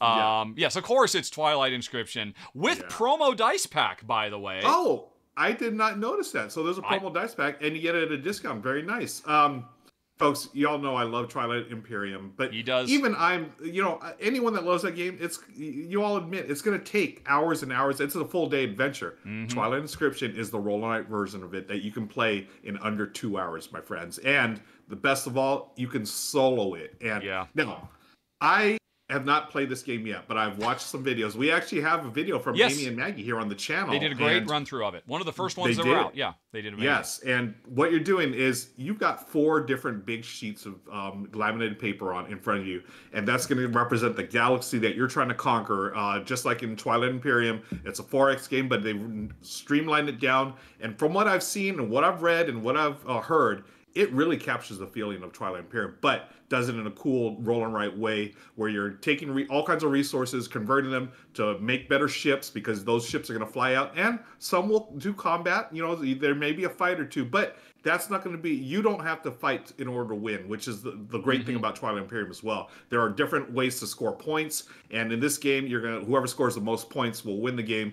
Uh, that they're going to be the lead of the uh, ruler of the galaxy. What I think is really neat, folks have been comparing this to Hadrian's Wall as far as combos and okay. stuff. Mhm. But they they're saying that this is more accessible and a little more streamlined than Wow. Hadrian's Wall. Yeah, Okay. and that's what I'm excited about. I want that experience, but again, I want it more in a way that's uh, a little more accessible because I know Twilight Imperium can be a big, big, big game, obviously. But if they've done it in a way that I can solo it and play it under like uh, under two hours, man, I'm all about. it. And that's why I've been excited about this game all year long, and that's why it's our number two Twilight Inscription. And don't forget to get that promo dice pack as well. Yeah. Um, very nice, very nice. Yeah, you know, um, folks, uh, in case you don't know, we live stream this show. That's where the extended edition comes from, the full live stream with the pre-show and the post-show. I just looked over, and the audience is talking amongst themselves. Yeah, Twilight Inscription is great. I'm getting it tomorrow. I'm loving it right now. It's fantastic. Yo, so it's not just us, folks. It seems like I, as long as you don't go in expecting to, you expect a roll and write with a Ti uh, Twilight Imperium flavor, then Right. you'll you'll be happy. Yeah. Yeah, and that's that's exactly what it is. You get the flavor. Obviously, you cannot replicate the entire game in, in a roll and write. But you know, I was you know before we did the show, or before it even was a thing, I remember thinking Twilight Inscription is either going to be one of the greatest roll and writes ever, or like one of the worst. I don't think there's any middle ground. And I, from everything I've heard and seen, it seems like it's going towards the other side, the good side. So Yep. uh, there it is, our number two Twilight Inscription. All right. Well, that's an excellent one. Um, but we've got one more to go. The number one on this list. Although, again, remember, this is my number one. Uh, Ruel's number one was Twilight Inscription. Just for the record, they're, these are all great, though. And these are all, you know, hey, it's the fall sale. They're amazing prices. And I'll be honest, one of the big things that made me push this all the way to the top Merchants of the Dark Road, uh, which, again, we have talked about in previous episodes, is the price. When we talked about this, the originally 60 bucks, it was at 39 when it was first on. It's now down to 31 or 32. And if you uh, don't necessarily go by my run through because when I covered it, I covered a prototype. If you go out and look at unboxings of this game, it is stunning. There is no way this doesn't make a lot of people shortlist for best production of the year. Um, from the cool magnetic clasp, the the boards that snap together with actual freaking magnets. How do magnets work? Um, and um, you know, really stunningly gorgeous dice, a whole bunch of them. Uh, but then the gameplay itself definitely lives up to the production from Elf Creek Games and designer Brian Suhre. There's two halves to this game. It's mostly a rondel game where you are always traveling clockwise around in the big merchant city, trying to um, you know get contracts for deliveries out to the to the, the dark road um, to get the goods that they want out on the dark road to pick up some uh, hitchhikers that might uh, tag along with you on the dark road. And um, also as you're filling up your cool little uh, merchant's wagon with stuff other people can see oh i bet they're about to go to thistledown aren't they? You know what if I time it right, I could piggyback on their caravan, and even though it's not my turn, I could make some deliveries on my own. And they would face the danger of the dark road, and I would get all the benefits. So, this is a game where there's really interesting indirect interaction between players because you are so deeply involved with everybody else does. The whole thing is driven by a really wonderful, it's not dice drafting. Everybody has their own set of dice, but what you have to do is you have dice rolled immediately, and you have to put them into a, an action queue that you will be able to use them later. So, this game is full of tactical surprises that come up as people make opportunities available to buy buy low and sell high. Um, that's right. Yes, yes, buy low and sell high. But there's also long-term strategy because often you're like, oh, I can take it, but I didn't put the right die in the slot. I can't do the right action right now. What am I going to do? It's a brilliant gameplay and a stunning presentation. Um, you know, I mean, the other big game that came from Elf Creek Game, Honey Buzz, also got a lot of uh, you know mad respect for its production. Elf Creek Games, they know how to make a pretty game and they know how to make a fun game. And now, because of the sale, it's an incredibly affordable game, which is why it came in at number one.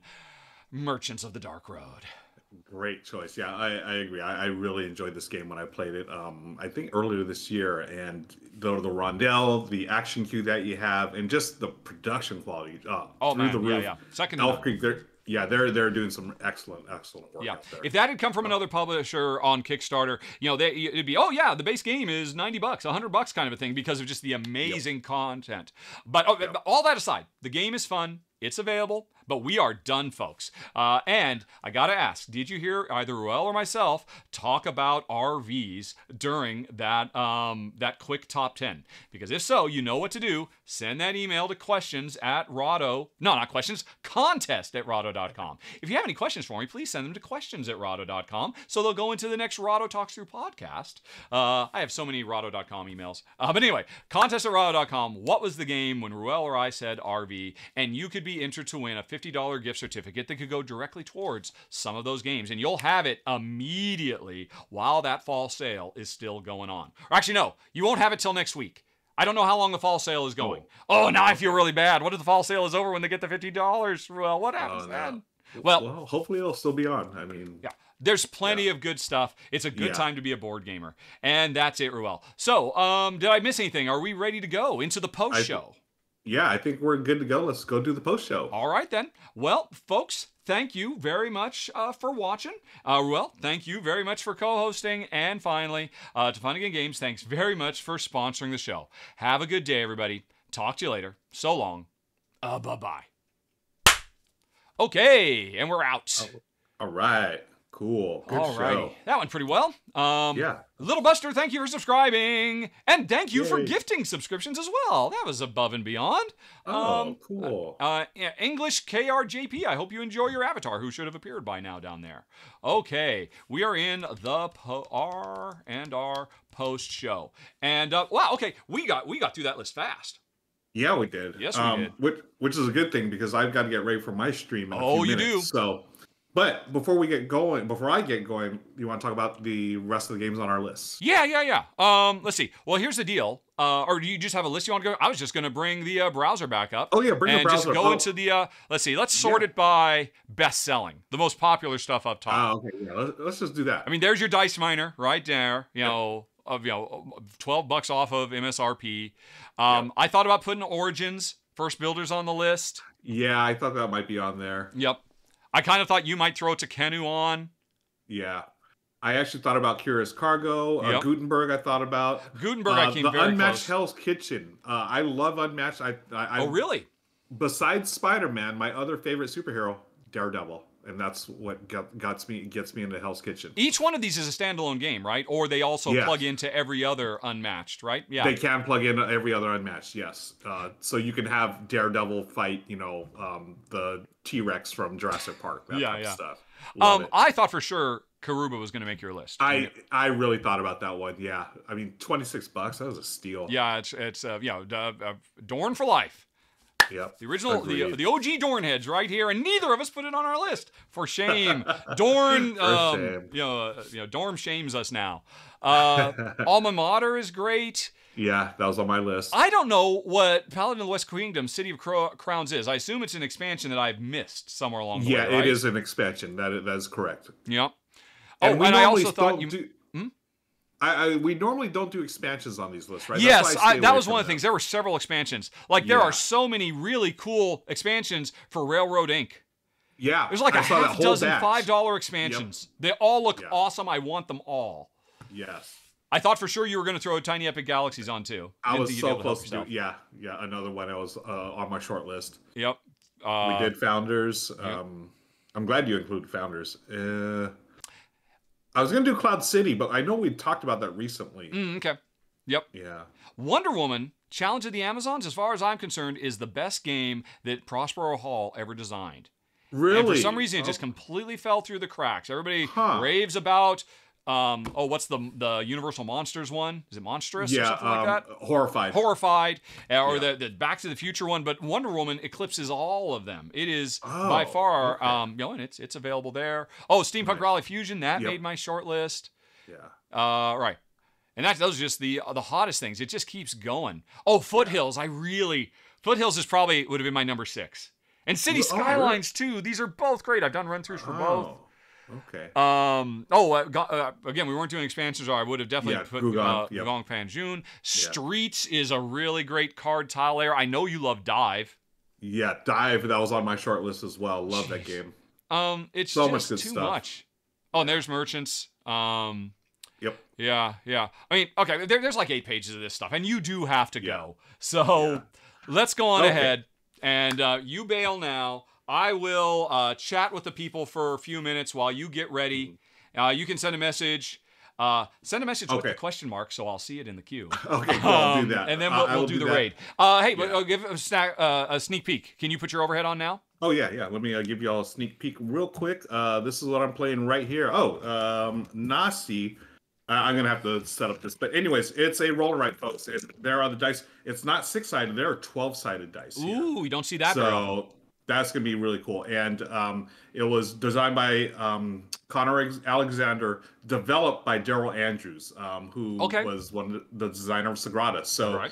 that's why I'm really looking forward to this. I can't wait to show it off to y'all. Um, so join me in exactly 15, 14 minutes uh, when I go live on my uh, Twitch channel. Cool, cool, cool. Yeah, it's interesting. And you guys, It's it's on BackerKit, and I think really what's on BackerKit is this Crow and Coyote Indigenous Peoples RPG. Right, that's Yes. actually the main thing. And then, hey, oh by the way, we've made a roll and write in our universe that's also available during this campaign. yeah, I think that's the coolest thing. So this is a game that the characters would play within the Oh. RPG. Oh, that's cool. I didn't realize that. And then, yeah, and then they said, "Hey, why don't we just make this uh, an actual thing?" So they did, and I think it's such a cool idea. And what's really neat too, Richard, is the roll and write itself. It's based on some indigenous uh, games of the past. Oh, wow. So they've taken that and then developed it. You know, they've added some modern touches, and uh, you know, I'm going to be showing y'all uh, some of the optional rules that you can add on to it to make it more gamery or more modern. Um, um, it's basically think of uh, a Yahtzee style game, but then with a bunch of other stuff on it. Uh, but you'll be seeing that in a few minutes. Um, thank you, Richard, again for uh, raiding into me in a few minutes. Yes, yes, Um, yes. I appreciate it. We will and see you uh, thank you, friends, for watching the R and R show. Appreciate that. All right, get out of here. I'm out. All right. Well, out, and then you get the mirror of me. Uh, let's come back to me, and let's hide the mirror of me. Nobody needs to see that. So just tick that tickety boo right there. Hey, everybody. Now that that guy's gone, we can talk bad about him behind his back. Or we can just answer some questions. We got a few minutes. He's got to set up, make sure he's up and running. And so, folks, as always, if you have questions about anything, including RV life, put them in the chat right now, starting with a question mark, because that means it goes into a queue that is very, very easy for me to catch and not miss those uh, important questions you have.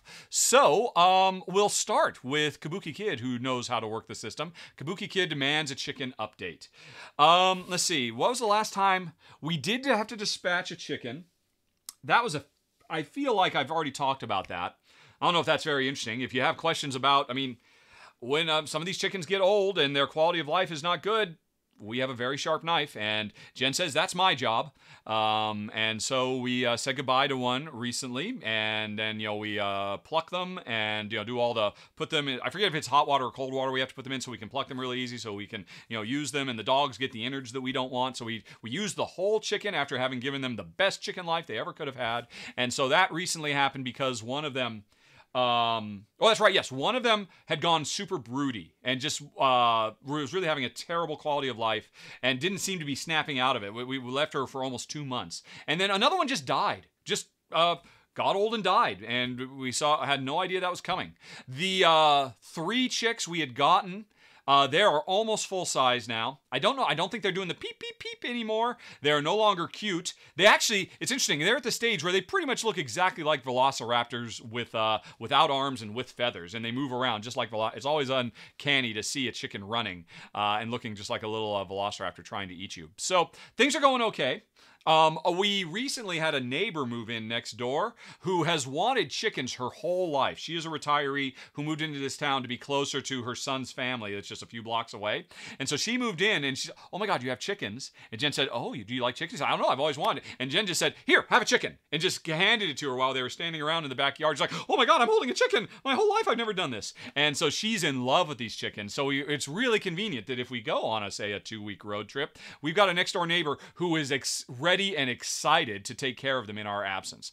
Um, they are also, um, um, what is it, uh, molting right now. So even though we've got, I think, 17 chickens, we're getting like three or four eggs a day, which is ridiculous. But they'll snap out of it soon. So that is the chicken update. Oh, and I see uh, where the chicken's going to ride in the RV. Nope. Uh, RVs are for humans and dogs, which is what we're really, one of the biggest things I think that's so transformative about this approach to travel is that, you know, I mean, any trip, no matter how good we've ever been on, after about a week, Jen's is jonesing to get home because she wants to get home to the dog. She wants to get back to her life. She wants to get home. She just wants to be comfortable. But the thing is, if you take your home with you on the road, I don't know. I mean, it's uh, it's early days. The plan is we do this quick little two week trip, and maybe we'll discover we hate it, and in a month we'll put the thing on the market and just you know flip it for practically what we paid for. Who knows? Maybe we'll even uh, because actually it's interesting. We were able to get a fairly good price on it. It had been on the market for 90 days because it was for sale deep in the middle of the Bay Area, and the Bay Area is not RV country. You don't get a lot of people going to the Bay Area to buy an RV. So the owner um, was having a really hard time selling it. We came along, talked her down uh, 4,000 after she'd already taken 2,000 off herself and so we got to go down and get it. But um, you know, it, where we are, there's all kinds of you know, we're in RV country. We're not as much as some, but we'd probably be able to flip it. So it's it's almost like no risk picking this thing up, uh, trying it out, and maybe it'll change our lives. Um, and it will certainly, if that happens, it'll change the chickens' lives too. I don't know that our neighbor who loves those chickens, but I don't know if she loves them enough to take care of them for like six months at a time. That might be a bit of an ask, but who knows? She really likes those chickens. Okay, what else have we got here? Um, where did you find the RV? Was it on RV site or something like Facebook Marketplace? Here is the story of finding that RV. My brother in law, Ron, who um, Ron and uh, Jen's sister Becky, they like us dream of someday living on the open road, the nomadic lifestyle. That's like a long-term goal for them too. And so Ron has been studying up on RVs for years. They have actually gone through, um, I think, two or three tow behinds with their big trucks they've got, and they're in between one now. But they're looking at, um, you know, trying. Once their kids have gone off to college, they're both in uh, high school and junior high right now. So in a few years, when the kids go off to college, that's when they say, okay, it's our turn. Um, but anyway, so Ron has become an expert. He's one of those incredibly handy guys. He knows how to fix engines and all the rest of it. Um, and he was visiting briefly. He was just spending the night because then he had to drive on somewhere, and we were just like a pit stop for him. And as Jen walked him out to the car the next morning, I didn't follow out because of my foot, but uh, Jen came back in and said, Ron and I had a great idea. Um, you know, if we see any great RVs down where they live, uh, you know, near the Bay Area, just south of the Bay Area, he'll go out and inspect it for us and let us know if it's a good deal or if we're getting ripped off. And I don't know. I think that was really more Jen's idea, and Ron's just an easygoing guy who said, "Yeah, sure, I'll do that." But anyway, he agreed to it, and I went on to to answer the question, Delta. It was RVTrader.com. I, I, did several, but I just did a search for hey anything within 50 miles of of their address, and this was literally one of the first three or four I found. And I looked at it, and I looked at the pictures. Oh my god! Because the interesting thing is. Two years ago, maybe a year and a half ago, Jen and I really got hit with, bit with the RV bug, and we started going to local dealerships and we did test drives and stuff like that. And we found one RV at the time. They're like, "Oh my God, this is so perfect." Uh, it's it's cheap. It's it, it had over 100,000 miles, so we knew it was kind of iffy, but it was really really cheap for an RV, and we were really close. We actually even put money down, but Ron eventually talked us out of it. Uh, because he said, no, no, no, there's going to be problems with this. Don't do it. I mean, you know, and that's when the first time he really uh, blew us away with his incredible in-depth knowledge of uh, RVs and maintenance and what to look for and what to be worried about. So we ultimately ended up not buying it and got our deposit back and all of that. I went and looked it up that model that we fell so hard and in love with, um, you know, whatever, 15 months ago, it is a, it was a Winnebago. It was also a 2003. We ended up getting a 2003 Brave. It was a 2003 Adventurer, and the Adventurer was just basically the upscale version of the one we have now bought. So it's like it's kismet. I mean, I didn't even know at the time that I found what was the perfect for us that we'd already discovered nine or 15 months ago. So anyway, RV Trader, it was really, really great. We contacted them, um, and uh, Ron went out, thought it was absolutely amazing. Said, I mean, yeah, you have to buy this. You absolutely have to. If you don't, we will. Um, although one thing is, you know, Jen and I, we're not going to be using it all the time. And we said, hey, you've done so much help with us already. You have a standing offer. Anytime you and Becky want to get away for a week, the RV is yours. Although, of course, they live in Central California and we live in Southern Washington. But we can worry about that later. Anyway, so yeah, that's how we found it. Um, Right. Okay, let's see here. Uh, Rare Norb says, where do we plan to camp in California? Um, basically, we plan on driving directly, I think it's the 101 is the uh, Pacific Coast Highway. Whatever is the, we're just plan on driving that. Um, like I said, I've watched so many RV how-to videos, and, and several of them talk about apps that make it very, very easy to find campsites that are near you. So we're actually, at this point, kind of going planless. Kind of the point. We're, we're testing, we're going hardcore. Hey, what's life like if we just play it by ear and just stop wherever we stop and see what we'll see? If we can't find someplace, we'll, we'll spend the night at a Walmart parking lot because that's something you can always do in the States. Uh, at Walmarts and Costco's, there's just a standing thing that, hey, RVs can spend the night here. We won't rouse them. No big deal. So that's the fallback, but we're just going to play it by ear using, I forget the name of the app. I've already downloaded it on my phone, and it's one where you can say, hey, where are you? Here's all the options nearby. Here's the prices. Here's what's open, here's off season, all of that stuff. So we're planning on seeing, hey, just how really flexible and in the moment can we be living this lifestyle? So the answer is, Norb, I can't tell you. I don't know. We'll figure it out as we go, is kind of the point. Um, trying to live a life without constantly being stressed about all the stuff. Just, hey, let it all go. Just, you know, live the nomadic lifestyle. Okay, let's have some non RV questions. Uh, Timmy Baloo says, What?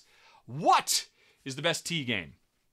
Well, I know my wife's answer is always going to be Tzolk'in the Mayan Calendar. Although officially, it's not really a T game because it was published by uh, Czech Games Edition. Board and Dice um, should really get in touch with Czech Games Edition and see if they can get the rights to it so they can wrap it into the. Uh, so the unofficial one would be Tzolk'in the Mayan Calendar, but it's not Board and Dice, so it's not T. Um, and I guess you couldn't say Founders of Teotihuacan, right? Because it's an F game. It's um Teotihuacan is great. Uh, but honestly, uh, uh, at this point, if you can't say founders, I would probably have found Teotihuacan. I would say probably Tawantinsuyu. I was really blown away by that. However, I did. Is it here? No, it's in the other room. I we did just play, and I just yesterday I filmed um uh Tiletum or yeah uh, Tiletum Tiletum Tiletum the latest one, and I thought it was great. I would love to spend more time with that game. However, Jen just thought it was so so. So you'll get to hear about that when my uh, run through goes up for it next week. So I don't think it'll be Tiletum. I think it's probably going to be Tawantinsuyu, which is a Turczi game, if I recall correctly. Is that right? All right, though. Okay, what else have we got here? Uh, see, I think we talked about this earlier, Goblin. Yes, I will do. I will. I, I you know I would walk 500 miles and I would walk walk 500 more just to be the channel to cover Star Wars Pandemic. Um, yeah, I mean, I always want to play the newest, uh, latest Pandemic. Now, if I recall correctly, this is not like all the other Pandemic spin offs in that it was always Matt Leacock working with other designers. I believe this is two completely new designers to the world of Pandemic. Is that right? So that gives me a little bit more pause, but really, how badly can you mess up the core pandemic formula that's so well established now? I'd much rather it had been a Star Trek pandemic, but I'll always have Star Trek expeditions for that. Thank you, Reiner Knizia. So yeah, I certainly hope to cover it. Um, I have not heard from, oh, let's see, it's going to be Z-Man, right? Oh, you know what? Z-Man just wrote an email to me the other day about something else. Some other game. I now have an opening to reply saying, hey, that's really interesting. What about Star Trek Pandemic, please? Or I know that's not the title, but yeah, I'm very excited. I will definitely try to get that played and filmed before the end of the year. Okay. Um, oh, oh, I see. Oh, Goblin really want to know Star Wars Pandemic thoughts. I honestly, I saw it existed and I, I felt, okay, I don't need to spend any time studying this because I'm sure it's going to be interesting. It has dice though, right? I mean, at the end of the day, the um, Star War, the World of Warcraft uh, pandemic, we didn't end up keeping because, as great as it was, and we didn't mind the dice too much, I'd still rather not have dice. And I, I, I believe this one will have dice. So I don't know that it'll be a keeper, but I'm still excited to give it a go. Uh, um, right. Let's see. Oh, going back, I think we had some questions from last week. Is Sagrada playable before you start the campaign? Uh, no, it is not, uh, Goblin. Uh, although, not that you won today, but uh, you no, yes, it is. It is playable before you start the campaign if you come up with some kind of proxy. The first chapter, which is what you saw me play, if you watch my run through, which I try to be as spoiler free as possible, I demonstrate a way that you can play the first chapter infinitely over and over and over again without making any permanent changes. But it requires a regular copy of Sagrada to have all the colored dice you need as a stand in for actually using the colored pencils and penciling. So, if you're willing to do that, yes, you could play it. You could play the intro game several times to for the people you play with to get them used to it and all that. But uh, otherwise, now although that's another thing too, you could play it over and over and over and over and over again if you laminate that first sheet. But then you have to go out and get colored pens that match the colored pencils. So you would have to go out and get some you know dry erase and what are the colors? I forget what the colors are: red, purple, yellow blue.